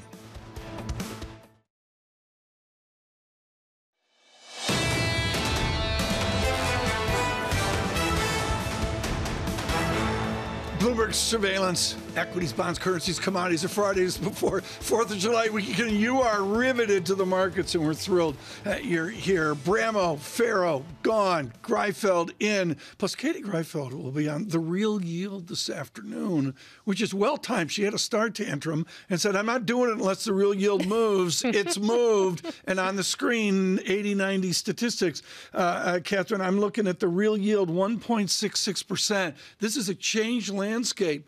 And to break out, I don't know where the level is, 1.70, 1.71 is a ginormous deal for the stock market. You think it would be. I mean, you remember back when the 10 year real yield was negative 1, everyone was saying that's going to keep this bid into growth going. Now you look at where it is now, and that bid for growth stocks, it's still there. So we'll see. But really interesting moves along the curve, especially in the belly. If you look at the five year, I mean, I had talked to a lot of bulls on the Treasury curve, that middle point, and uh, it looks like it's not working out, at least for today. Well, at least for today. And the question is, is, is do you see the high yields of the two year dissipate, or do you see the high yields of the two year migrate out to a new higher yield of the five year? That's a raging debate. Just on the data right now, two year yield 4.91%. Officially, I'm on a 5% watch on the two year. We've been there but just for a cup of coffee. uh, 10 year yield 3.87%, 30 year bond on that mortgage space 3.91%. Uh, the 30 year mortgage has not breached up through new tension. There's a raging debate about what all this bond babble does uh, to housing. Ian Shepherdson, who was on, he's pretty negative about it. He says that, you know there could be a real impact on the housing market. Yeah, you would expect there to be, and uh, we'll see how that actually filters through. Whether the housing market truly has bottomed or where we head from here? Well, there's a resiliency to it. We saw that yesterday in that third look at, at GDP. In one hour, a raft, I say a Seattle slew of economic uh, data. On the equity markets, and of course, she starts where I should be. Ferro is lecturing me. He sent me a note from his third island in Italy. And he says, Tom, you got to splash in with the fam and save more.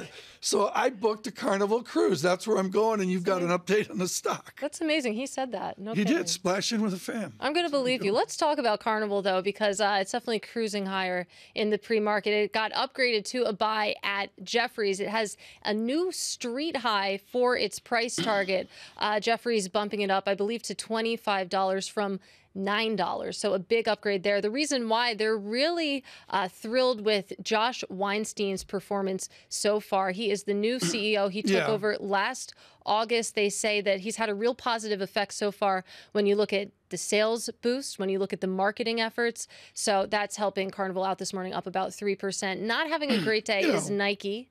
Of Well, course. no, no, wait, wait, wait. We, Oh, gotta, oh, okay. gotta stay in carnival here. Come on, Okay, folks. This is important. I haven't had a vacation since Christmas. Mhm. Okay, we're looking at a four day Western Caribbean from Miami, Florida, from 244. Av- you sit by the engine room for that. Yeah. From 244 average per person, two person rooms. I mean, this is not Round Hill in Jamaica.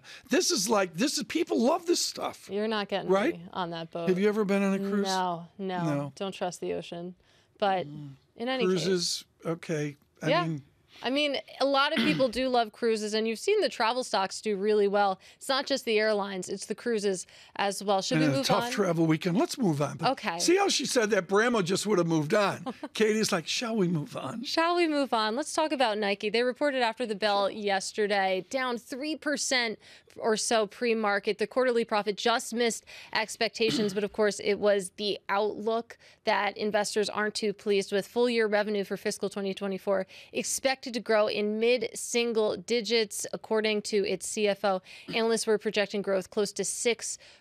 So a little bit of a disappointment Mm. there. Uh, and you can see that in the shares. I also want to talk about You Apple. Apple on the brain. I mean, it's just it's the story of the morning. We are on three trillion watch. Uh, again, currently where it's trading in the pre-market, we're already there for its market cap. But really, the news that caught my eye this morning was you got it got an a new buy rating from Citi. This is amazing. They say that Apple has another 30% upside. This is a stock, obviously, uh, closing in on a record market cap. And Citi says that Apple's ability to expand its margins is underestimated. Just really staggering. You know, and what's important here, I can't remember if folks have made a banner up for this, but we're on a three trillion valuation, and you say as the juggernaut when is $4 trillion, as Dan Ives at Wedbush has talked about? Mhm. I did the math this morning. You can do this on the Bloomberg Professional Service, folks. And I was shocked how soon, on the trend of Apple of the last decade, if you extrapolate that trend out, where do you think we get to $4 trillion? Thanksgiving next year. Thanksgiving 2024. Yeah, like literally like in 17 months or whatever it is. Mhm. Thank, we're watching the Detroit Lions with Michael Barr and Thanksgiving, and we're looking at Apple as a $4 trillion stock. That I had no idea it would be that soon. Yeah. I mean, we'll see. Trend lines don't always hold, but I mean, you just look at the performance of Apple. Obviously, it's blown away a lot of skeptics who have said there's already a lot of good news in this price. Shall we move on? Shall we move on? Shall we go to the bond market? I think we should. I think we should right now. There's a big debate out there kicked off by Bill Dudley calling for the possibility of the 10 year Treasury yield hitting four and a half percent. Then you have Subhadra Rajappa on the other side of SocGen writing, quote, that we expect yields to gradually decline over the coming year as we retain our call for a 3.25% 10 year Treasury yield by year end. The yield curve should gradually steepen, turning modestly positive next year as the Fed lowers policy rates in a recessionary context. Subhadra Rajappa joins us right now. My head is spinning here on equities and even more so on bonds as well. Subhadra, the fact is a lot of yields are moving up here. I'm looking at the 10 year real yield in the US and it is sobering. What are the ramifications to you and SocGen if we see the 10 year real yield break out to new highs? Well, I think that the impact is going to be felt not just in the bond market, but broadly speaking, in all risky assets, right? We're starting to recalibrate to a much uh, stronger economy, but a lot of the data that we're looking at, like the first quarter GDP, the second take or the third take, is backward looking, right? So we have to be looking at forward looking indicators. And if we are, if the Fed were to raise rates by uh, 50 basis points or, or more, then I think that you're going to see that feed through even more sharply into the broader economy. So the forward-looking data has the potential to be meaningfully weaker if the Fed, you know, continues to hike rates. I mean, our call is that the Fed would probably stay in and around, you know, the, the at current levels for the remainder of the year. year. It's it's not out of the question that they raise rates by maybe 25 basis points uh, or even 50 basis points by the end of the year but you know that's only going to really bring the recession um, you know forward if you will uh, we have a recession penciled in for the first half of 2024 uh, that still seems like the, the the timeline that we're looking at but broadly speaking i think a lot of the data that we're we're placing our optimism on is Right. backward looking not forward looking Well, it's so important here, the dynamics. Katie Greifeld mentioned earlier the belly of the curve. Let's come in tight, not five to seven years, but in that interesting two year to five year space. What is your belief that we'll see there? Do the high yields of a two year, one year space come out to high yields of a four year, five year space, or do we get relief? I think that a lot of the, the repricing in the Fed funds market is going to be very much a front end phenomena. That's part of the reason why we don't really think that the 10 year uh, meaningfully rises above 4%. I think we get close to 4%. It's going to be a buying opportunity for bond investors that missed their first opportunity earlier on this year uh, to go long bonds. Uh, but again, it, this you know the rise in yields, at least in my view, is going to be much more of a, of a, of a front end phenomena and not a, a long end phenomena. And you're looking at the yield curve. You know, the two cents part of the yield curve is back near negative 100 basis points or, or below. Again, that may, that might be our opportunity to think about know, reinitiating uh, steepeners uh, in the bond market because eventually, the more the Fed hikes, uh, the more the slowdown is going to be, and the Fed's going to have to uh, perhaps adjust policy uh, during uh, 2024. Subhadra, I am so excited to talk to you about that twos tens curve, over 100 basis points inverted. And you say that you expect the yield curve to gradually steepen. And that language masks a huge call because if you expect the 10 year yield to sort of drop and then stay there, what does the front end look like? How much do two year yields have to plummet? And how much does the Fed have to cut to get there? So that's really a tricky question. I think it's it's fair to say that the Fed could keep policy stable after getting to uh, a certain level. But beyond that, I think that the Fed is very committed to keeping policy higher for longer. And this time around, with inflation not just a US phenomena, but a global phenomena, I think that global central banks are going to keep policy restrictive well into the first half of next year. So, in that sort of context, it makes sense that the front end remains sticky and you don't really see that dramatic repricing lower in the two year uh, part of the yield curve. That's why we're calling for a very gradual re-steepening of the, of the yield curve. Typically, when the Fed pauses, you know, six months after that, you tend to see the two cents part of the curve steepen out meaningfully. This time around, that process is going to be somewhat gradual. Also, for the 10 year, we only have the 10s getting to say three and a quarter by the end of the of the year. That's not a meaningful decline from from where we were uh, at the lows of this year in, in 10s. Again, the, the, the decline in yields is going to be much more gradual across the curve uh, in this cycle as opposed to in past cycles. So, what gets us back to positive territory on the twos tens curve if you have the two year kind of anchored? I mean, what has to happen then at the back half? So the, we will, I think, eventually get to positive territory, um, but it's going to be perhaps in, in 2024 and not in 2023. We have the two cents part of the curve, uh, you know, steepening out, but you know, getting to only any, anywhere between say negative 15 to negative 25 basis points, you know, by the end of the year. So the, the steepening is going to be, uh, you know, much more uh, gradual. But but broadly speaking, you look at the, uh, the the broader economy, you are going to start seeing the market uh, respond to higher interest rates. Uh, we did see some improvement in the housing market in the in the last uh, couple of months. Uh, if you start seeing two start, you know, ten year yields starting to get towards uh, four percent again, and mortgage rates start to rise, you're going to see that uh, impacting the housing market, and the broader interest rate sensitive sectors right. of the economy are going to respond to higher interest rates. Subhadra, thank you for the brief. Really look forward to talking to you into 2023 here on the dynamics fixed income. Subhadra Rajappa uh, with SocGen. Futures up 15 right now. Uh, NASDAQ, I'm going to say led by Apple. To be honest, I'm making it up. I haven't uh, looked, but Katie's been beating me to death with the Apple Watch all morning. $3 trillion. Standard Poor's 500 up three tenths of a percent. We say good morning to all of you. Bloomberg surveillance on radio, on television. Katie Greifeld in for Lisa Abramowicz and John Ferro. They're going to be back. I, I, Bramo, I think it's back like like the fifteenth or, so, or whatever. Perhaps. and Ferro, you know, he he wants to get back for the opening of Premier League, which I think is like August twenty, but we'll have to see on that as well. You know, you've got the real yield this afternoon. We're making jokes about it, but let's mm-hmm. let's discuss this, folks. It's important. Uh, Amy, if you could give me the Bill Dudley quote from yesterday. How do you make up a guesstimate? On a 10 year yield, you make it up in terms of pieces. And of course, the PhD from Berkeley absolutely nails this in his critical essay yesterday. I'm going to read this in its entirety for radio.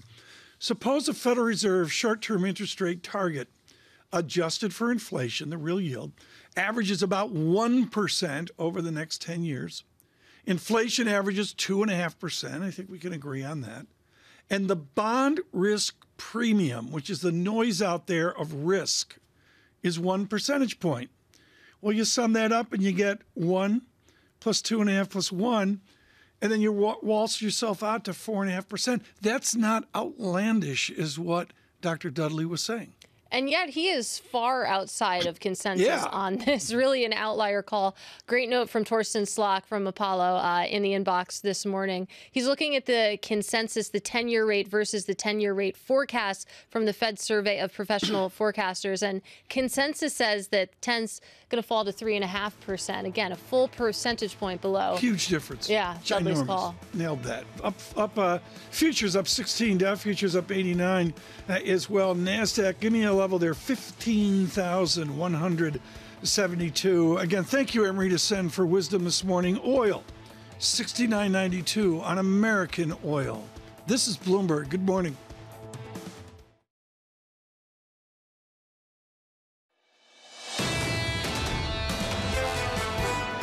If I like cash at these levels, what companies have cash and what companies can actually take advantage of that cash number?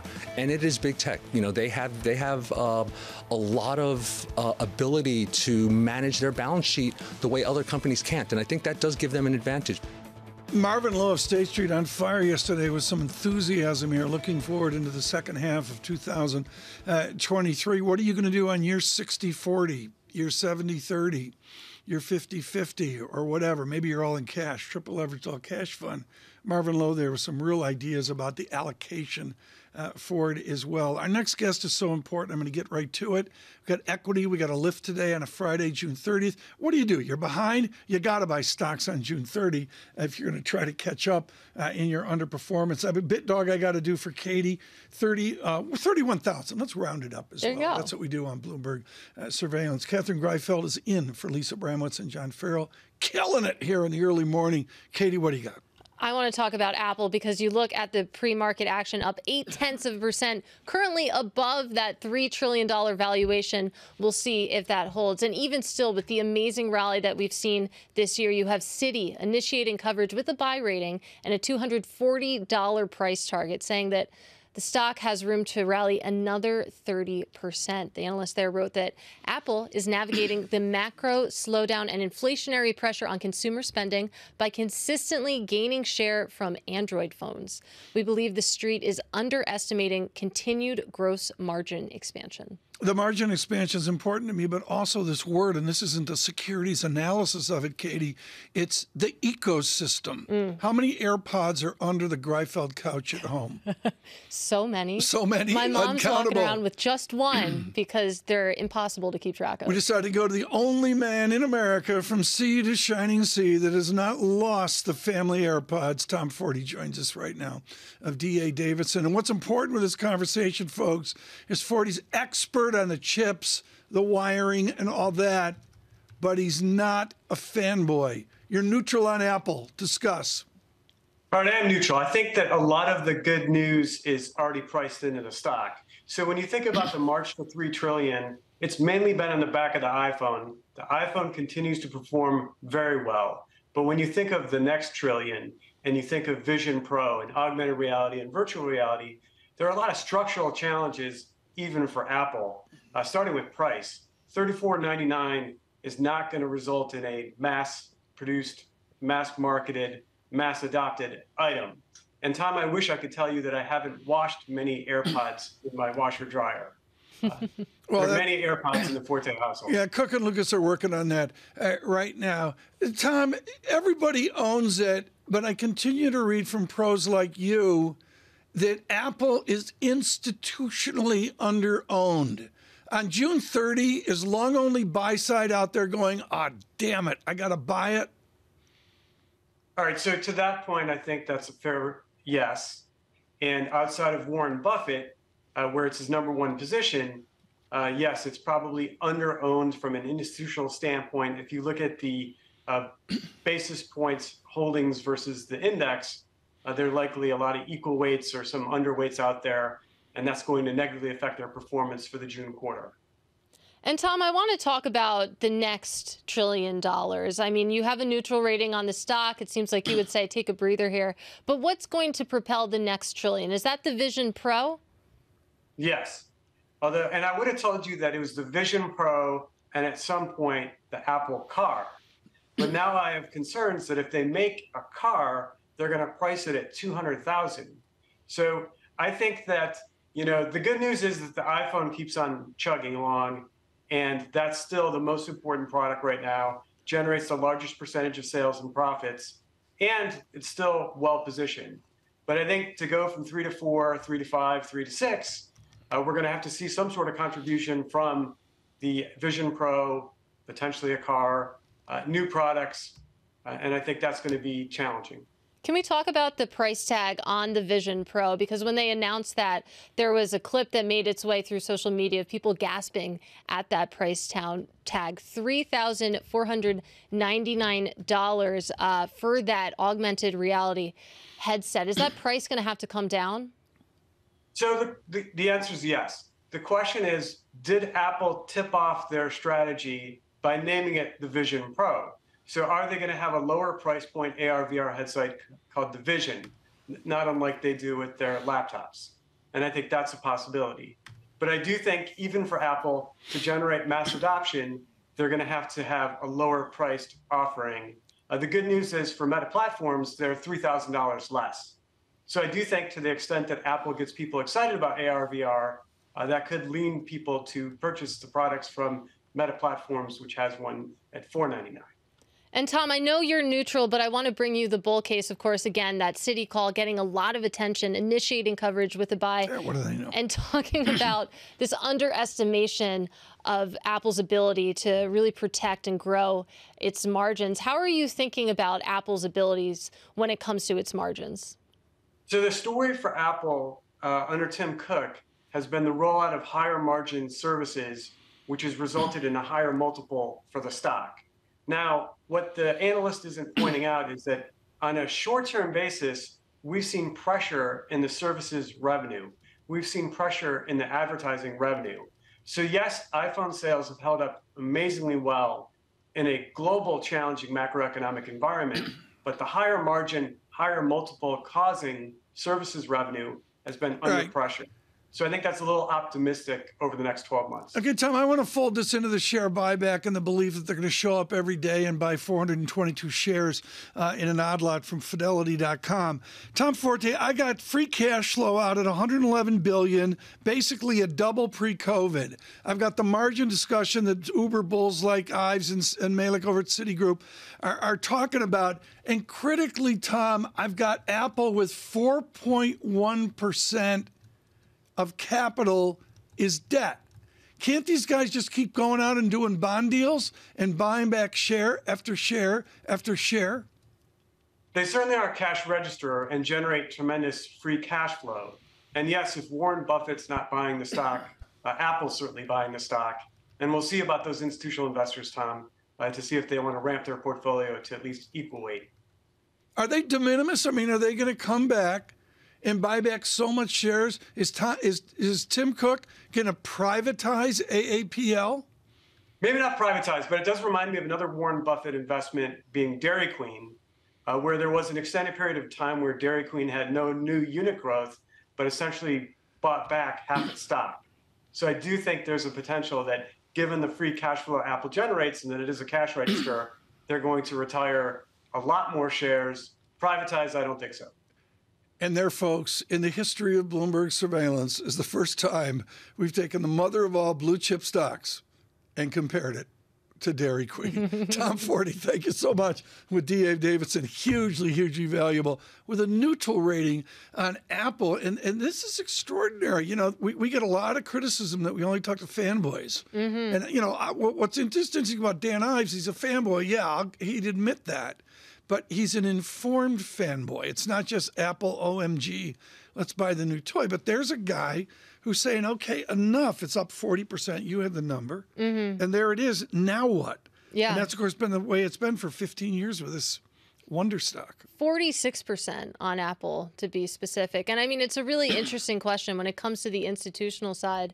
Is it underowned? What is the next leg for Apple? What's the next trillion dollars outside of just the fundamentals when you think about the product set that they're introducing? It goes back to index and, and active management. And folks, and Bloomberg reports today an important article, uh, I believe from Bloomberg, that's, that's out on PIMCO having shortfalls and, and with Allianz, a conversation with Allianz in Europe about PIMCO having trouble bringing in funds. That's That was huge, fascinating. Huge, yeah, huge active management pressure. And equity, I would suggest, is less talked about, but even worse. And I'm sorry, it's June 30, but from a long only buy side where I've missed the October low bull market up 23%, if I'm up 7% and not up 23, is my window dressing of October 24th going to be done on July 3rd when Mhm. you and I are the only two working on Wall Street? I mean, are they, are they going to be out wherever the summer place is going?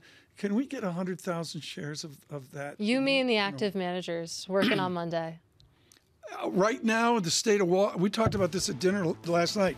Right now, on Wall Street, globally, and particularly in America, nobody's not working this weekend. Mhm. Every- I don't care what they say. They can, you know, be having a lobster roll out in the Hamptons, baloney. Everybody on but Chanel Bassick mm-hmm. has been reported on this. It's a mess out there. Have a fun weekend while Greifeld and I are working.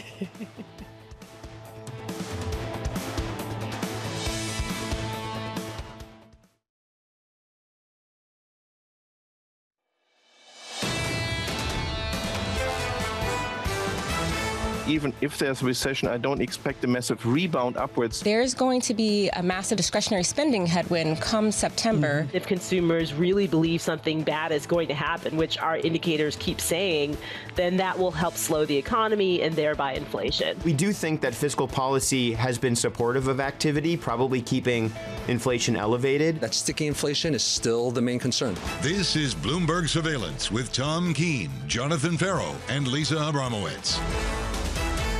Good morning, everyone. Jonathan Ferro, Lisa Abramowicz, and Tom Keene on a Friday, a big Friday, June 30, last day of second quarter.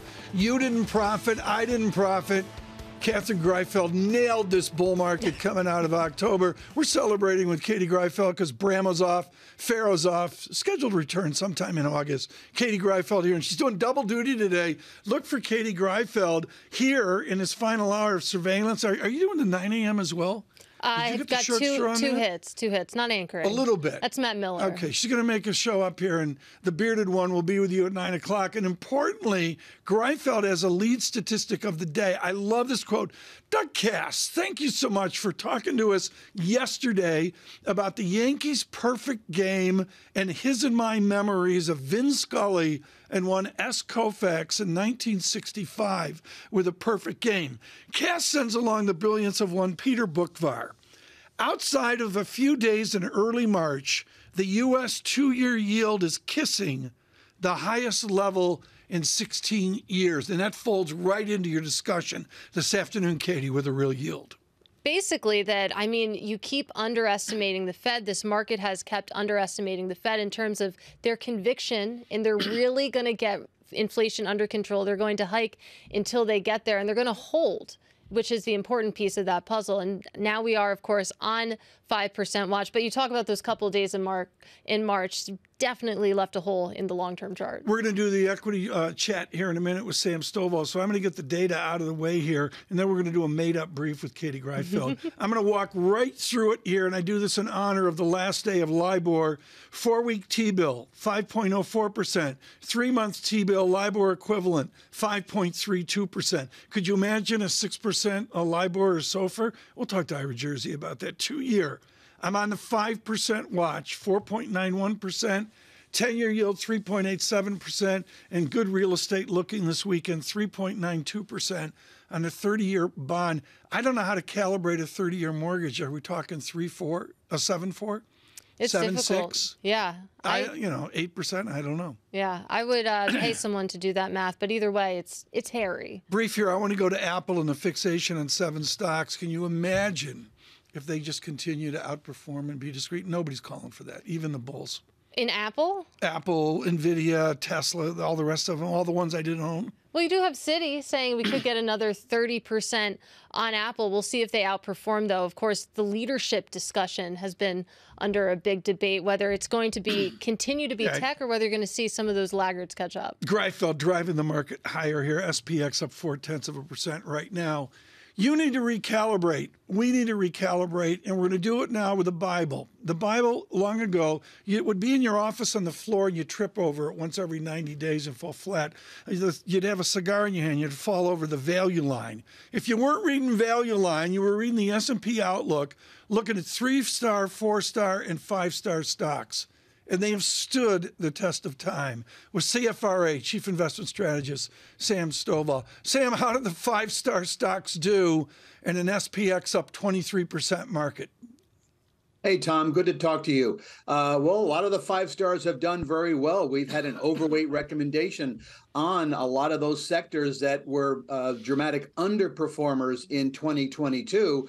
And you know the old saying uh, investors tend to rotate from first to worst, meaning that they move out of the defensive areas that held up best in a down market and gravitate toward those sectors like communication services, commu- uh, consumer discretionary, and tech uh, because they were the dramatic underperformers in Mhm. 22 and are doing quite well in 23. Uh, The hallmark, Sam, of what you do, and I think of Gina Martin Adams leading our equity coverage at Bloomberg Intelligence as well, is you have to be in the market. So we have a boom off the October low. I'm calling it the Acampora Yardeni low. You know those two, uh, Sam Stovall. And the answer here is then there's a second leg. Brief us, what, what are the details we need to know about a purported second leg of a bull market?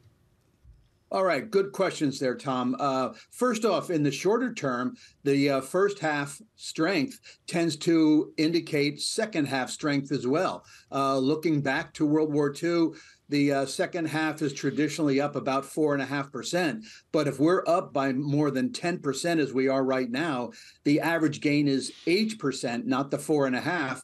And you can add about uh, 13 percentage points to the batting average or frequency of advance.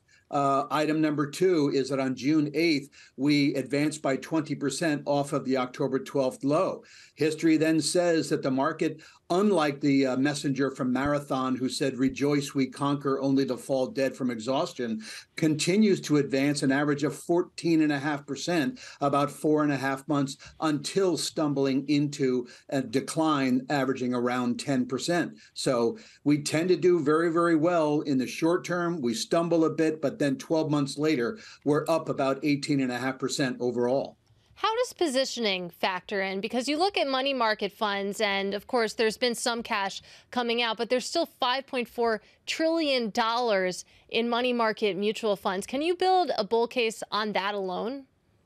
I would think so because if the first half you have a lot of the money managers who are underperforming, those who either want to earn their bonus or keep their jobs are probably going to put the pedal to the metal and try to play catch up and then exceed the market by year end.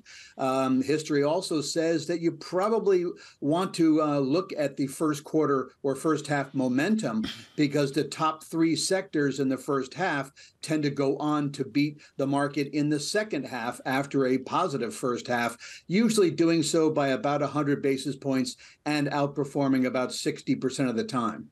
So, that being said, of course, there's going to be probably a massive game of catch up here. Is it fair to call this a risk on market, though, or do you see this bid for big tech not necessarily just being about AI, for example, but a haven bid as well? Well, I, I, think that we are actually, if the question really also has to do with leadership uh, and the narrowness thereof, I would tend to say that that is broadening quite nicely. Right now, 75% of the 153 sub industries in the total US stock market are above their 10 week or 50 day moving average. Also, we're looking at more than 60% are above both their 10 week and 40 week moving mm-hmm. averages. Uh, so, looking at an equal weight 500, 60% are above uh, the our positive territory so far this year. I just want to point out, folks, that what you just saw there was Greifeld channeling the inner Brahmo. I mean, that was that was, was just. Bearish? You don't ask Sam Stovall some bearish gloom I'm question. Stovall, Stovall and his father are the kings of being the market to prosper. Mm-hmm, mm-hmm. Uh huh. Okay, that was the inner Brahmo. It was captured on the Brahmo cam. Sam Stovall. We had somebody on earlier who said rotate to energy stocks. What does big oil look like right now? I mean, the price of West Texas comes crashing down, but I would suggest energy stocks have been pretty resilient.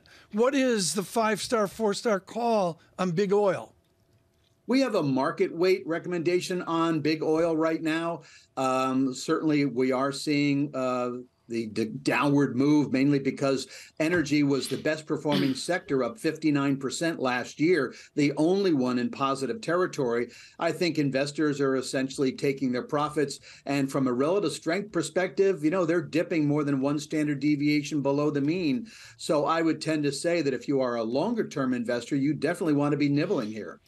You know, Sam, I, I, I, look at this and I bring this up with immense respect for your father as well. This week we lost Mr. Markowitz, Harry Markowitz, which is the foundation academics of everything Sam Stovall and I do. And in the Washington Post uh, obit, uh, Brian Murphy's great effort, at the top of the story, there's, there's Harry Markowitz saying, I wish I bought more stocks at 25. And I thought of your father. Are our younger people underowned in equities because of the day to day financial media gloom? I think that's certainly a case. I mean, the old adage is if it if it bleeds, it leads. And so basically, the financial media wants to say the world is coming to an end at midnight. Tune in tomorrow to see if it really did.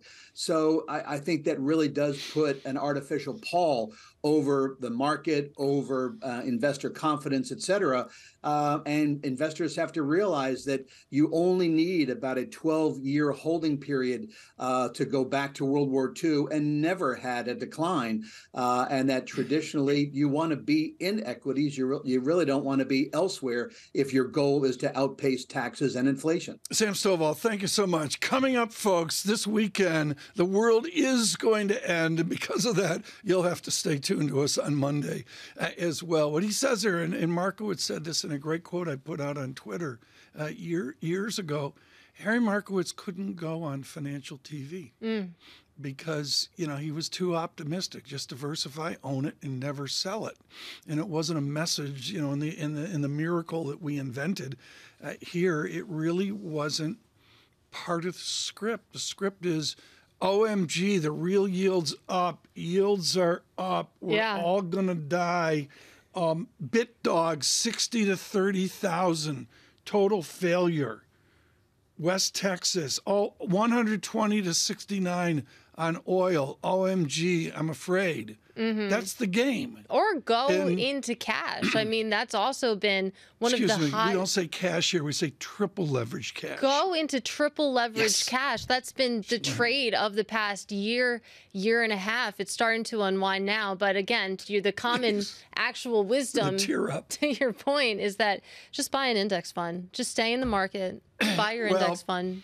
one of the best conversations, folks, I have ever had uh, in all the history at Bloomberg. This was the late John Bogle and Cliff Asness. It was a the interview's out there. I, I have to find it. We'll redo it for YouTube.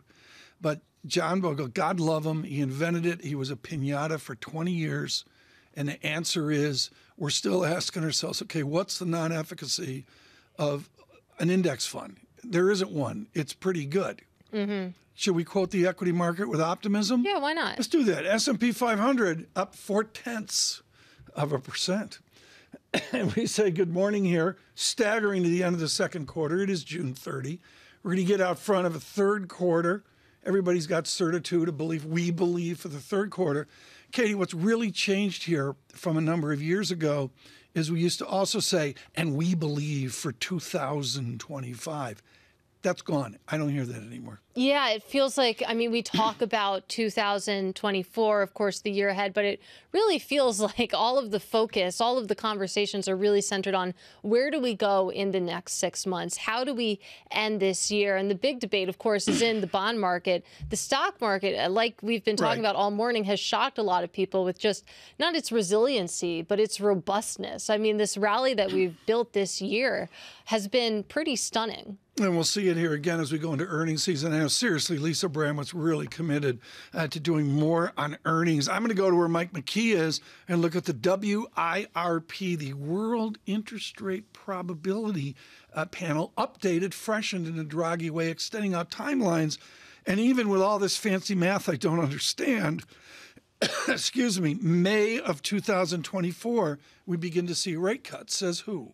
Says who? Certainly not the Fed. I mean, I feel like uh, we've heard from time and time again Yeah. from Jerome Powell, rate cuts are not in the conversation. It's premature to talk about them, and yet you look at pricing, people are talking. I'm going to tear up here. Can I quote LIBOR OIS once more? LIBOR OIS 0.2674%. Last time. What's the world without LIBOR? Don't even see it. This is find out. Bloomberg. Good morning.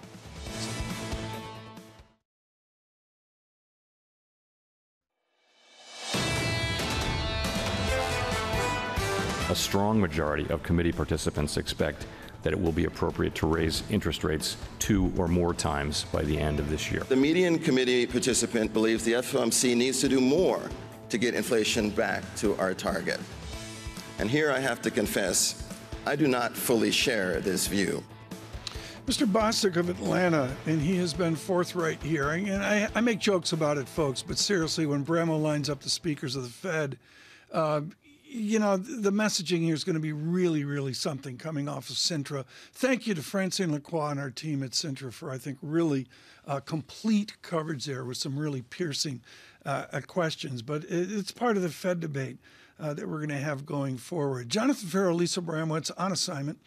Catherine Greifeld with us here, and she'll be with you through the day, and particularly the real yield this afternoon. We're going to digress right now, get right to it because this conversation is so valid. And this is the base, basic, basic idea that redounds across the Pacific Ocean to America and the Western world, which is, to borrow from Steinbeck, the summer of our Chinese discontent. And even more importantly, maybe like the great summer novel, or the winter novel, I should say, there's a mystery to it. Leland Miller is expert at the Chinese mystery, co founder and CEO of China Beige Book. Leland, what is the measurement of government authorities in Beijing, the mayors of these selected cities, what is the measure of their summer of discontent? I, I think the major problem here is that uh, you know China's moving off its old economic growth model, but it hasn't moved comfortably into what's next. You're seeing much slower growth overall. You're going to see a long-term structural slowdown in the Chinese economy, uh, and and that they haven't truly prepared the world for that or their people for that. And so uh, things are happening uh, that aren't aren't aren't entirely unpredictable. But it's a different world than we were looking at three years, five years, ten years ago. And I think this is confounding markets and it's confounding a lot of uh, investors. My book of the summer three years, five years ago was the brilliant Elizabeth Economy, writing on the third revolution, Xi Jinping and the new Chinese state. Give us an update since Dr. Economy is working for Raimondo at Commerce. Give us an update on the power of Mr. Xi right now. Does he have economic power and political power to help his China?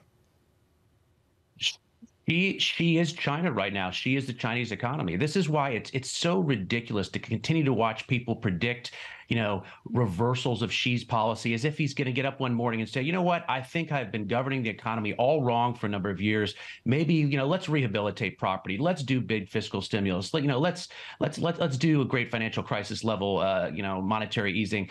None of these things are going to happen. There is a new trajectory for China. It is governed completely by Xi's inclinations. It has been for a long time. And so the idea that he's going to jump in in order to help investors out with the stock market or, or on, in rates and other things. It's sort of ridiculous.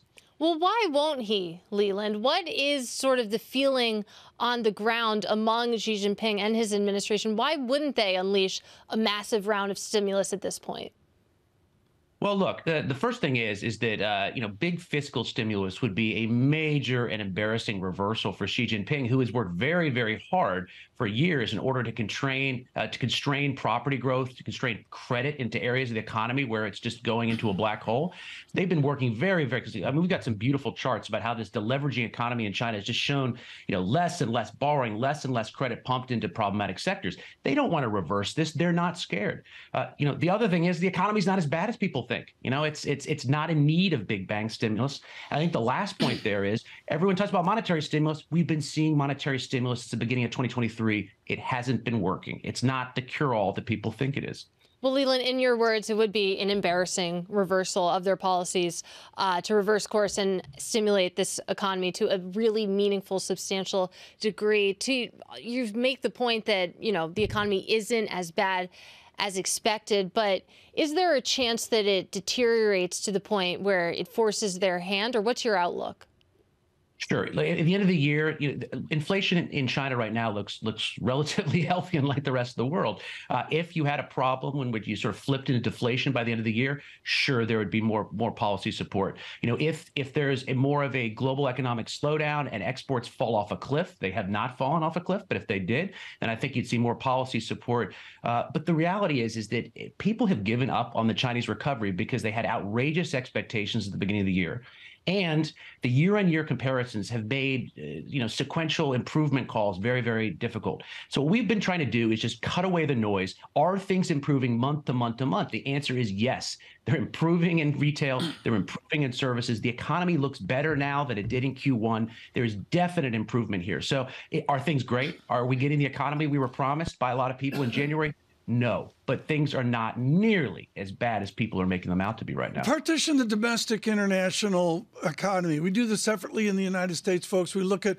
Y equals C plus I plus G plus NX. We fold in all the international blah, blah, blah, domestic final sales. Can you do that, Leland Miller, in your China? Do you have a domestic final sales GDP measurement? Yeah, we, we we try to stay away from the GDP number just because it's been so traditionally juiced in China to to, to not mean anything. It's you know it's it's, it's an output. Uh, you know it's it's almost an input versus an output. Uh, but look, we do look at domestic orders versus export orders. Export orders are not looking great. If you look at the going westward, particularly the United States, they're slowing down. But ex- but domestic orders are actually fine. They're looking better. So you know, are we? If your expectations were that you were going to see this mega rally in the second quarter, then you're definitely hands in your right. hands in your head, disappointed. But if you're looking for sequential improvement, if you're looking for an economy that's significantly better than both the first quarter and market expectations, that's where China is right now, and I think people just don't get it yet. Tell me about renminbi. Yuan as a measurement. Seven point two six is jaw dropping. It is a devaluation. Do we get a further depreciation of renminbi? Which exports their disinflation across to America?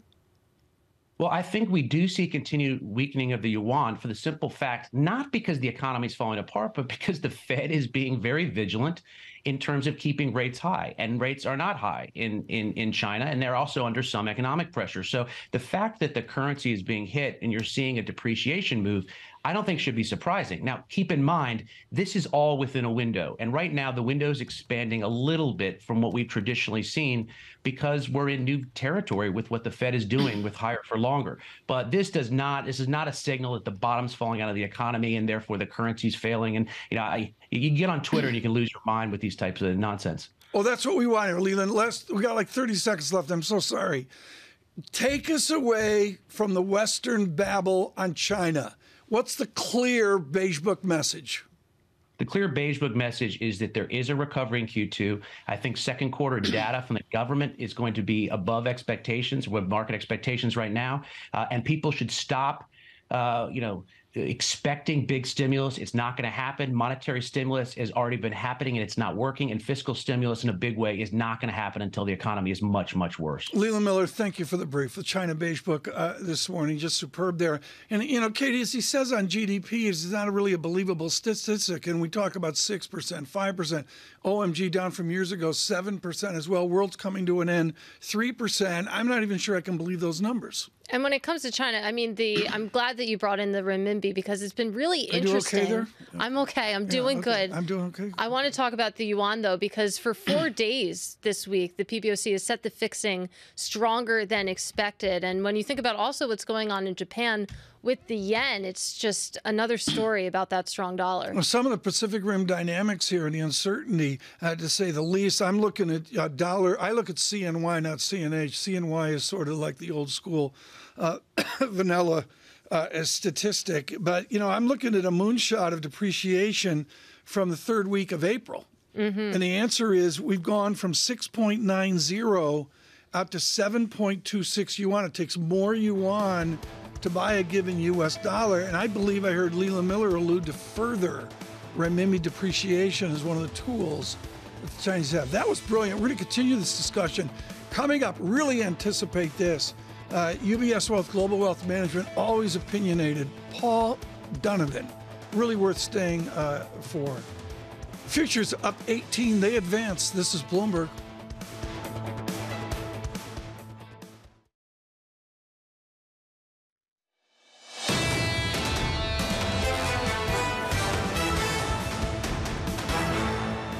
Surveillance on a Friday, an important Friday, June 30. Usually, well, nobody in economics is working except maybe McKee, but there's maybe like one data point. Not.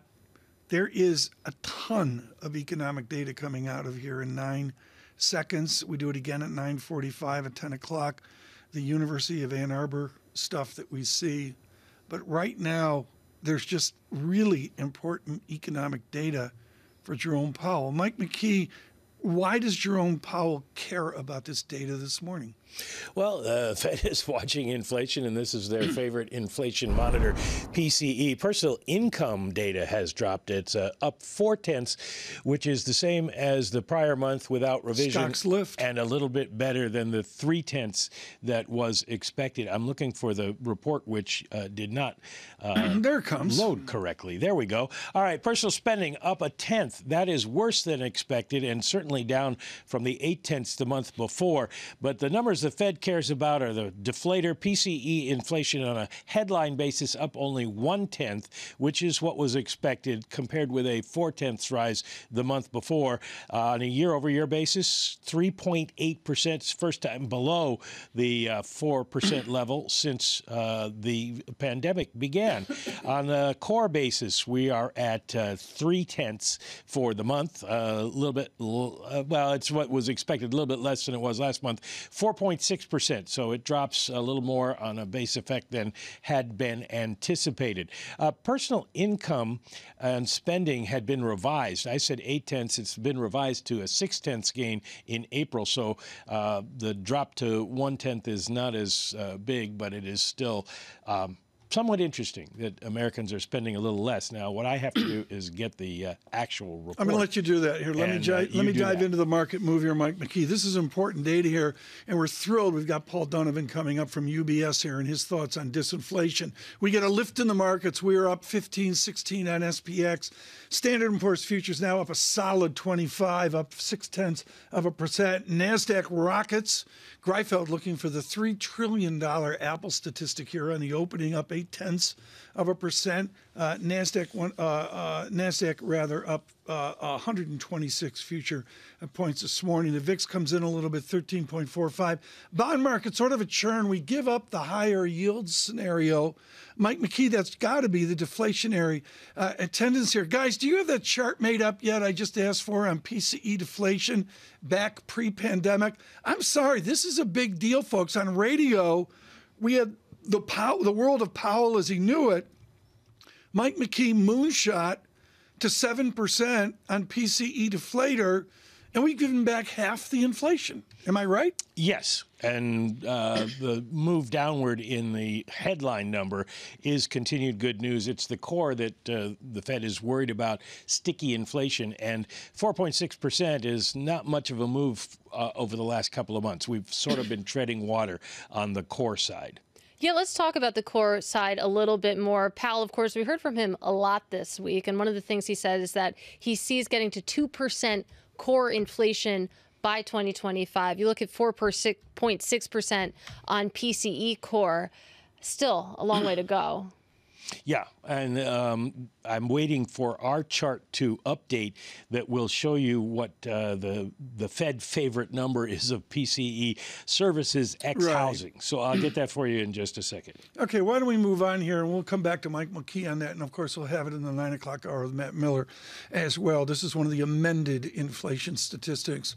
He's one of the greatest thinkers on Wall Street. I mean this seriously. He's chief economist, UBS Global Wealth Management, far more a student of the Pacific experiment of China and America, far more a student of Brexit, far more a student of continental Europe as well. We welcome Paul Donovan. It's been way, way too uh, long.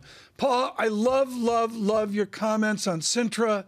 Everybody's out there pounding the inflation bandwagon. You're with Ed Hyman. You're with David Rosenberg. Disinflation is in place. Discuss. Well, we're seeing disinflation. The, you, the the three waves of inflation that we've had: the demand shock after the pandemic, the supply shock of the war, and then the profit-led inflation. Wave one and wave two have gone. You, you, we've had six months of outright deflation in durable goods prices in the United States. Transitory inflation was transitory. Energy prices fading completely from the picture. And now what we're starting to see is this squeeze on margins coming through. Now, every country's got weird technical stuff going on with its inflation numbers, which creates a little bit of noise, a little bit of distortion. But just draw up any inflation chart around the world, and you are seeing the numbers coming down. That's, I think, the, the disinflation narrative is going to start to become a bit more established.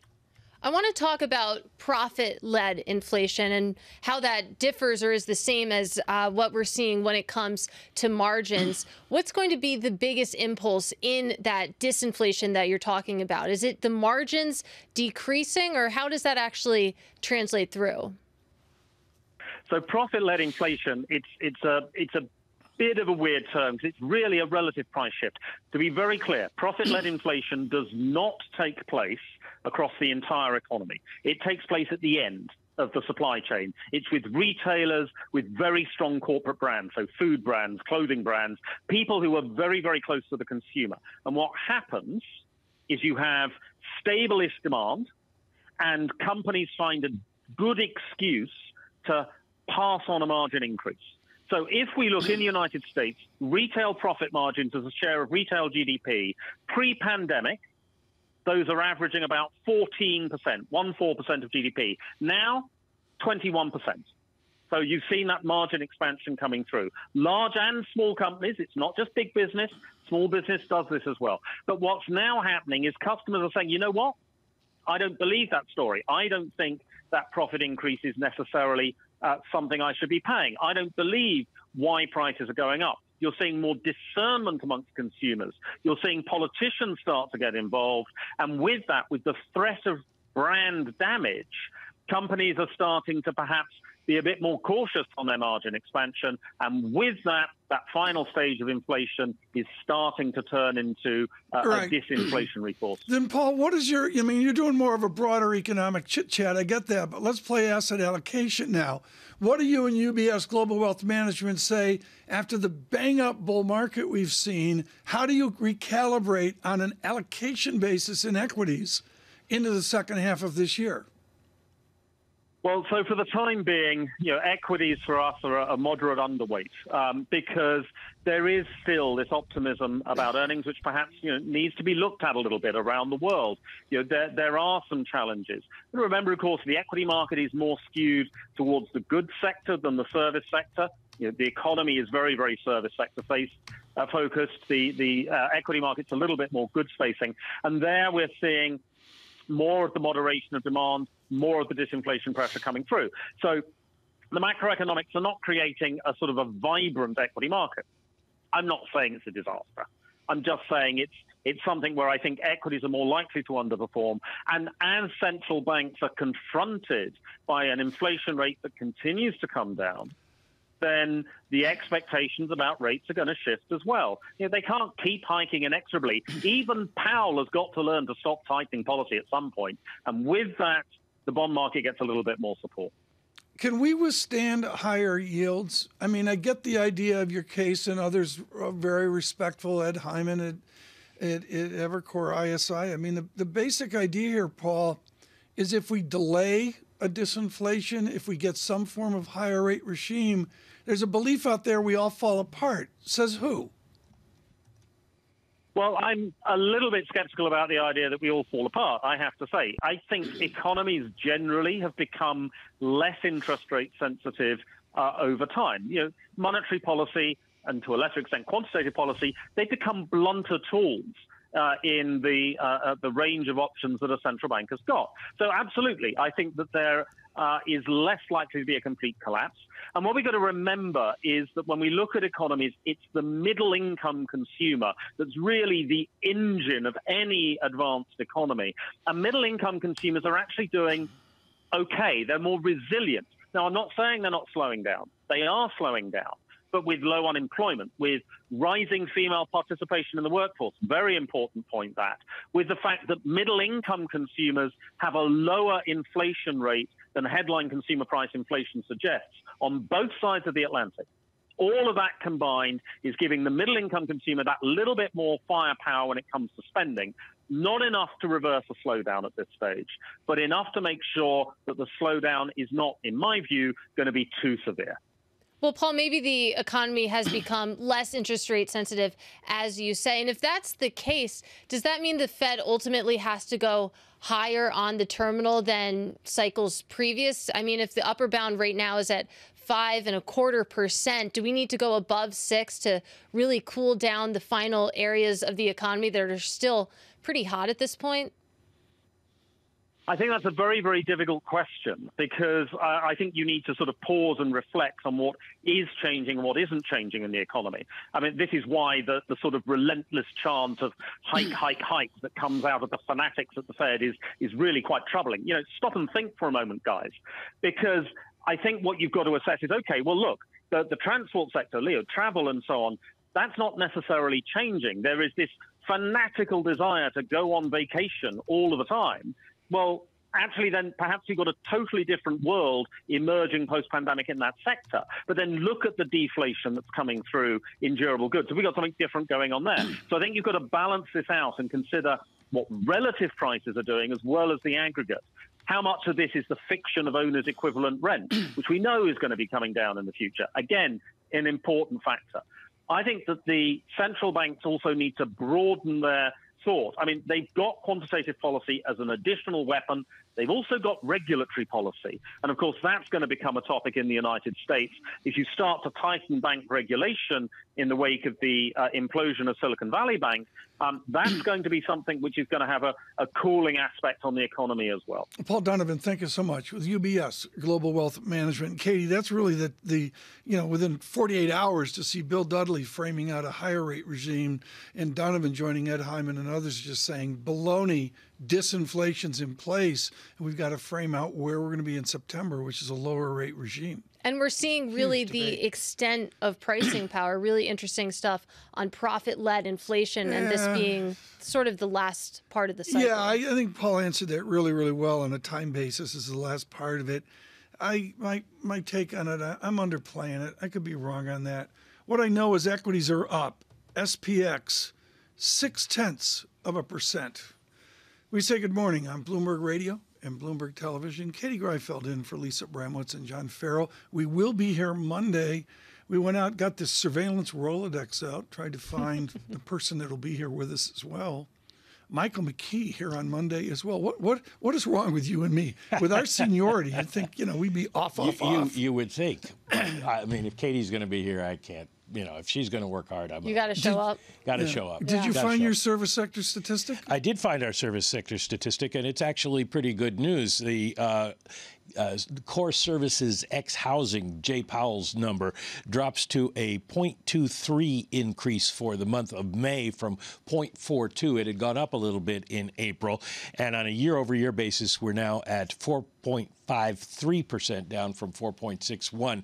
So some easing there. But one number that might concern the Fed, uh, although there are people who are saying wages are not driving inflation now. Uh, but we did see wages rise half a percent, the strongest amount since January. I mean, and then that goes to the jobs report, July 7th, where Mike will be here as well. Mm-hmm. yeah. Well. I'm, I'm Lisa, actually off. Lisa and Bramo won't be back by then. Well, we'll get, you know, we'll get somebody. We'll, we'll call her up and. What's yeah. your first look at? This is the first time I've asked this. What's your first look at employment, July 7th? What's interesting is that, uh, of course, we'll get a lot more uh, forecasts in from sure. uh, from economists as the week uh, progresses. But right now, the expectation is we might see unemployment drop back from 3.7 to 3.6. Uh, and the forecast is for 200,000 jobs, which is interesting. It's terrible. After, after jobless claims yesterday, the total number went down.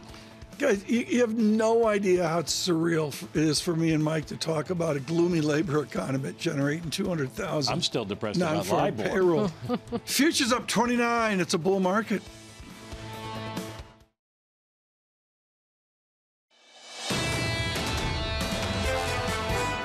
The airlines are doing less with more that they have more employees now than they did in 2019, but the government has fewer air traffic controllers now than they did four years ago.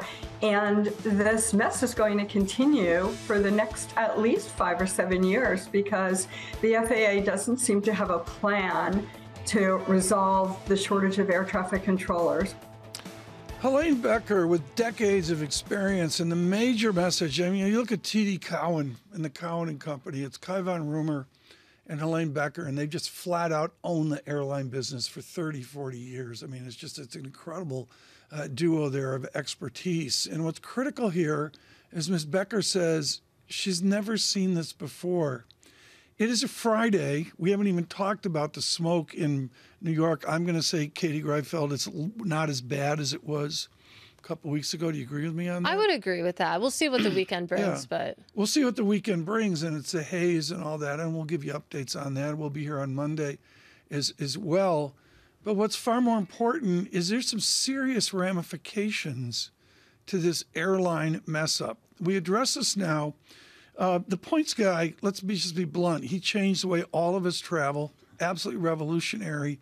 So much so that Clint Henderson was an iconic guy at all sorts of TV networks doing the charade that we do every day. Mm-hmm. Clint Henderson said, No, I want to get frequent flyers on Alaska Air. I'm going to join with Brian. How did you get to the points guy? How did they drag someone as famous as you on MSNBC over to a real job with a points guy? Well, you know, the points guy is obsessed with points and miles. That's always been our sort of DNA. But over the years, we've expanded into a full media brand. And so they wanted somebody who had a little bit of media experience Yeah. to come in. So that's sort of where I came in. And it was right before COVID.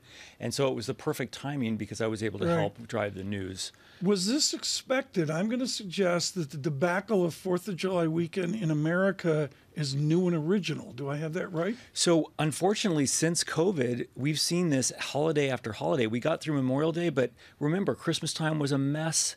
We had a real mess last summer. At the time, we were blaming airline staffing, so there wasn't enough pilots and flight attendants. Now it seems like they've been able to hire up, but now it's the air traffic controller issue that's really helping to drive this. You know, thunderstorms are a normal part of summer. we should be planning for that. Uh, unfortunately, the airlines are scheduled really tight right now, uh, as if there's no such thing as thunderstorms. So there's there's blame to go around, but the air traffic controller shortage is a real issue. A real issue. And talk about the demand picture, too. Obviously, a lot of people want to fly right now, which is maybe why that shortage with the air traffic controllers is really being felt. Yeah, you know what's really interesting? Business travel has not fully recovered yet, but it's been more than made up for by leisure travel. So the demand is insane. And remember, during COVID, the airlines cut back on the number of flights and the number of seats that are for sale. Mhm. And people decided during COVID, I'm going to travel. I don't care what happens. And that's what we're seeing. We're seeing that pent up demand and people who decided that's going to be a way of life for themselves. A way of life. Uh, it's interesting, though, that business travel hasn't really caught up. And I do want to talk about the summer travel season. But with business travel, I mean, is that coming back, or when can we officially declare we're not going back to 2019? So it really depends on who you ask. We're sort of 80% level of business travel. I don't think it returns fully ever. I think people have learned how to do Zoom meetings. Uh, companies have realized it's really expensive to send employees around, and they don't necessarily need to in all cases. So I think that's what you're saying. On a planning basis, and you know, the points guy is a concept. I mean, you guys reinvented how we travel, the whole keep track of your miles racket and the charge cards and all that. But what I find fascinating here is the same old, same old. We have limited airports, limited gates. We have a major argument between gates at JFK and Newark, just as is, is one uh, discussion point. I'll even pull in LaGuardia on it. And then we got air traffic controllers. Now I look out on the web and they're making 130, 150,000 dollars a year. So I'm up in the air and there's a guy with seven lights on a radar screen, and I look at the pilots that were complaining they make 60 grand a year, which is like a bar worse than a bartender. Yeah. I don't get the salary structure we're complaining about. Shouldn't we just pay the air traffic controllers more? Shouldn't we just pay the pilots more to solve this labor conundrum? I think that would help solve it, but that's going to cut into the airline's bottom line, and they don't necessarily want to do that. Air traffic controllers, that's a good middle class, solid job that you could end up doing very well. I'm not sure why it's not an attractive option for young people. I think they're trying to do some recruiting at colleges and places like that, but it's tough to get people Yeah, interested but, in the but job. okay, but I don't buy this. If Kirby was here or Bastian was here, Yeah. I'd say, look, you guys are fancy. I get it. You want to make your profits and all that. The fact is, on this Friday, or I think of Bramo, she's probably down in Atlanta right now at Hartsfield, sleeping on a floor somewhere. Yeah. Why are we acting like a third world country where we've got families with kids sleeping on the floor in the new Terminal A at Newark? That's a good policy for these airlines? Totally unacceptable. And that's why, as consumer advocates at the Points Guy, my own personal opinion is that we should have some kind of passenger bill of rights. Now, there is a passenger bill of rights being proposed by Senators Markey and Blumenthal. Even though, even if that was passed, though, which is unlikely, The problem is it doesn't cover for weather. So the airlines Mm. always have wiggle room when it comes to weather. They can say, oh, well, that chain reaction started because of a storm on Tuesday, so we don't have to compensate passengers. I think maybe something stronger needs to be in place. Is there any blueprint for that, though? Maybe it doesn't exist in the U.S., but when you look overseas, I mean, how is that handled there? I would love to see something passed in the U.S. like EU 261 compensation. What is EU 261 So compensation? basically, if a if flight is delayed extreme amounts from three to six hours or it's canceled, the airlines have to compensate passengers. In almost all cases, I personally benefited from this with an American Airlines flight from Europe. But here's the issue: there is an exception for weather in those cases as well. Mhm.